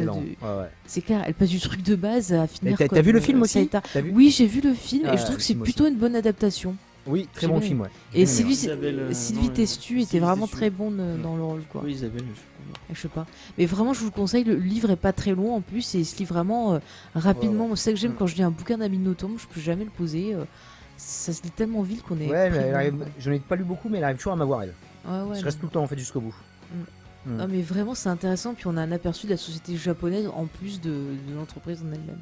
Ouais en plus c'est vraiment euh, le, monde de l'entreprise japonais, enfin la mm. société japonaise, euh, le monde de l'entreprise quand tu bosses ça n'a absolument rien à voir. C'est ah vachement zen. Une fois que tu rentres dans le monde d'entreprise de Tokyo, concurrentiel dans les buildings, c'est la folie. Hein. Ah c'est la folie. Côté étrangère, quand t'es une femme pas, quoi. Ouais, quand t'es ouais, étrangère, t'es une femme et tout. c'est une euh, femme, etc. Ouais. Ah, les gaijins ne sont pas trop appréciés. Ouais ouais. Non mais quand t'es une femme en plus célibataire et compagnie, c'est ta fête. Hein. Ouais, mais après ce qui s'est passé dans les années 40, euh, c'est compréhensible. Ouais, oui. Avec les guerres et tout ça. Enfin, bref. Non. Allez, faut enterrer l'âge de guerre, les gars. Sur une, une note joyeuse. Est-ce que vous avez d'autres recos à faire ou euh, on peut conclure ici? Non, on a fait le tour, on a fait le tour. Hmm? Bah écoutez. On a été bon là. Bah je pense qu'on était pas mal. On a quand même réussi à, à partager. On a, euh, on a fait court. On aurait pu faire on fait 2h27. avec toutes les blagues. Mais il y a tellement de, de, de, choses bonnes dans cette série que c'est. Euh, moi, je peux que vous encourager bah, à la découvrir, à la redécouvrir. La redécouvrir. Mais franchement, je, là, je vous jure, j'ai qu'une envie, c'est de la reprendre depuis le début, là, parce que. Et d'acheter les, DVD et, Ouais, ceux qui me manquent, quoi. Qui sont très durs à trouver. Si vous avez la saison 5 pas trop chère, ça m'intéresse. On a un Tipeee si vous voulez pour nous voilà, aider. Voilà, vous pouvez nous aider. non, mais t'imagines, payez-moi des DVD. Non, mais ça arrive. Il y en a qui font payer des DVD. Non, mais c'est pas bien. C'est pas bien. Non, non, mais en tout cas, voilà, regardez Parc Récréation si on vous en parlera la saison prochaine. Si vous voulez revenir, messieurs, pour cette émission, vous êtes les bienvenus. Et eh ben voilà, le rendez-vous est pris. On verra ça pour la prochaine saison. C'est noté. Ça euh, marche. Ok, et eh ben écoutez, euh, si on veut vous retrouver, du coup, bah voilà, si vous voulez donc euh, en profiter pour rappeler où on peut venir discuter avec vous, ce que vous faites et tout, allez-y, c'est le moment. Au bistrot du coin, là, juste en bas de chez moi. vous êtes les bienvenus. Le rebeu d'ailleurs vient bientôt. Yes. Ah ouais oh. On va s'entraîner en plus tout à l'heure en plus là. Est-ce qu'il y aura du confessionnal? C'est très important. À fond, toujours. à fond, toujours. C'est important. C'est très important. Face caméra, je vais balancer sur gré. Ah ouais. Eh ben, ça va être du joli. Il y a de quoi dire, il y a de quoi dire. Heureusement que nous, on le fait pas, James, ça les face cam. bah en tout cas, du coup, bah, le, le rebeu, si on veut te suivre, on peut te suivre sur ta chaîne euh, YouTube. Le des Bois YouTube, ouais, venez. Rebeu des Bois Chronicles, euh, YouTube, euh, tous les réseaux sociaux. Et encore merci pour l'invitation, je suis très honoré. Vous êtes deux amours, ça m'a fait encore plaisir. Et eh bah, nous, ça nous fait plaisir. Franchement, bah, je te dis, tu reviens quand tu veux. Tu veux parler d'autres séries. bonne série, de me parler. Je suis vraiment très, très honoré d'en avoir parlé et très honoré d'avoir participé avec Gré et vous. comme X dans la place. voilà, c'est. c'est que du bonheur. Mais s'il y a une série que tu veux choisir la prochaine fois, Hein, je suis en train de faire mon petit machin. The Wire, Benchy. Euh, eh ben, écoute, The Wire, je voulais le faire la saison prochaine ah, aussi. Trop bien The Wire. Ah, The Wire, là, faut qu'on passe une nuit là. C'est très, très, très. Ah, il faut faire une émission par saison. Ah ouais, c'est ça. Non, mais c'est vraiment en plus. Bah oui, parce que chaque saison est différente. Euh, T'es fan de The Wire aussi euh, Ah bah évidemment. Moi je suis fan de qualité. C'est vrai qu'on a, on a jamais, on a jamais fait un podcast en deux parties. Pourtant tu aimes Brian Ballard. Voilà, je suis ah, fan de qualité. Ça suffit. Ça suffit, j'aime ça. c'est une blague entre nous. Bah oui, mais ça suffit. Et du coup, donc, si on veut te retrouver, c'est donc euh, sur euh, une émission de comics qui ne parle pas de comics, mais qui s'appelle Comics Fair. C'est ça, avec mon compère Spades que j'embrasse. Voilà, et on peut retrouver ça donc sur votre site euh, internet, ainsi que sur le site de Audioactif également. Leur label. Voilà, on mettra tous les liens en description après. D'ailleurs, la, alors je déconne pas, Rebeu, mais la prochaine émission de Comics Fair qui sort jeudi sur le label Audioactif, ah, ça sort jeudi. elle sort jeudi avec Faye en invité. Ah, respect, ah, c'était bien. Et c'est un one shot, je crois. sur les sur les one shots. Ouais. Et eh oui, et eh oui. Et d'ailleurs, je suis aussi dans, dans l'émission It is the Podcast euh, sur ce magnifique label d'audio. tu vas sûrement être invité dans un VHS et canapé ou dans un backlog. C'est déjà euh. fait, j'ai été invité dans cet alloué près de ah chez vous, j'en ai fait un. C'est vrai, moi, et moi, ils m'ont toujours pas invité. Oh, Pourtant, je me suis proposé. Hein, c'est, euh, Ils veulent, oh, pas, veulent pas de moi. Mes, fi mes, fi oh, mes films sont pas assez bien. Mais pourquoi Et c'est quand que tu fais un séquille en pôle Ah, bah ça, je peux pas, moi, je comprends rien à la moto. À part Vroom Vroom. Euh, mais c'est déjà bien. Ok. Donc sinon, pour finir... Le label audioactif. sinon, vous pouvez nous, nous retrouver ben, sur les réseaux sociaux en tapant James Effect, soit Facebook, Twitter. Si vous voulez Geek en série de façon euh, plus précise, sur Twitter, c'est Geek en série-du-bas RCM. Et sur Facebook, c'est en série, le podcast, on rappelle, c'est la seule page officielle de l'émission. Toutes les autres seront des contrefaçons. Voilà, c'est dans, il y a le Discord, il y a les mails, on est partout. Euh, on mettra tous les liens dans la description comme d'habitude. Et si vous nous écoutez le lundi, sachez qu'à 18h, vous pouvez nous retrouver euh, dans Comics Discovery. Euh, en deux mots Non, en ah non, c'est en deux mots. Hein. Sur le label audioactif, c'est écrit en deux mots. Hein. Je déteste. Et en plus en bien gros. le pire, c'est qu'en fait, sur le logo, c'est écrit en deux mots parce que. Mais c'est ta faute. C'est à cause de ça que tout le monde l'écrit en deux mots, ça me saoule. c'est pas grave, on va arrêter sur ça. Ah, euh... émission, c'est très dur. Donc c'est dans... quand qu'il sort celui-là? De quoi?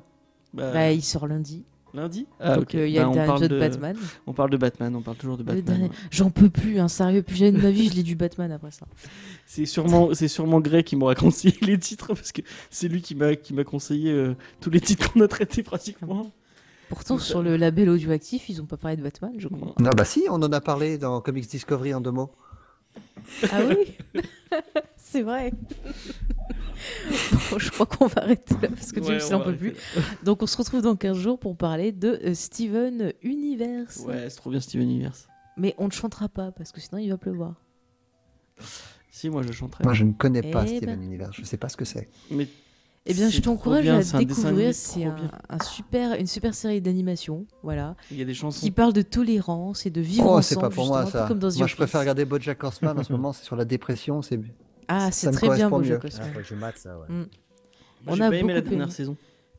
C'est vrai que la dernière saison elle est un petit peu moins bonne, j'ai trouvé. Un, un ah, je suis au début. Ouais. Bon, on te dit rien, tu regarderas. En tout cas, bah, on vous remercie encore d'avoir été avec nous. Et puis, bah, comme je vous ai dit, vous pouvez revenir dans la prochaine ah, mais faut pas nous dire ça, hein, parce que nous, on va revenir à chaque fois. Hein. Eh bien, revenez, revenez. On va inviter Gray pour me parler de Sailor Moon. Je suis sûr qu'il est très. Ah ouais, j'adorais Sailor Moon. Sailor Moon? C'était laquelle ta préférée? Euh, Sailor Moon Il connaît quelle? Bah, Je me, je m'en souviens très vaguement. Hein. C'est, c'est, pas, c'est à peu près. Bah, il y avait Sailor Moon quoi, dedans. Crémy, non? Euh, non, pas ah du bon, tout. Bah voilà. Crémy, c'était une fille qui a des pouvoirs et elle devient chanteuse. Alors que Sailor Moon, c'est une princesse de la lune et elle a des, des ah copines guerrières ah, je me souviens et elles se battent contre. Je me souviens pas assez. Il y a une fille qui se bat avec des corbeaux. Ah oui, il y a une fille. corbeaux. Ouais, bah c'est Sailor Mars. Ouais, c'était ma préférée, moi. Mais tu sais qu'on est censé quitter, arrêter l'émission. Mais on, a, on aura déjà. C'est coupé, là, on a dit au revoir. Au revoir. Au revoir.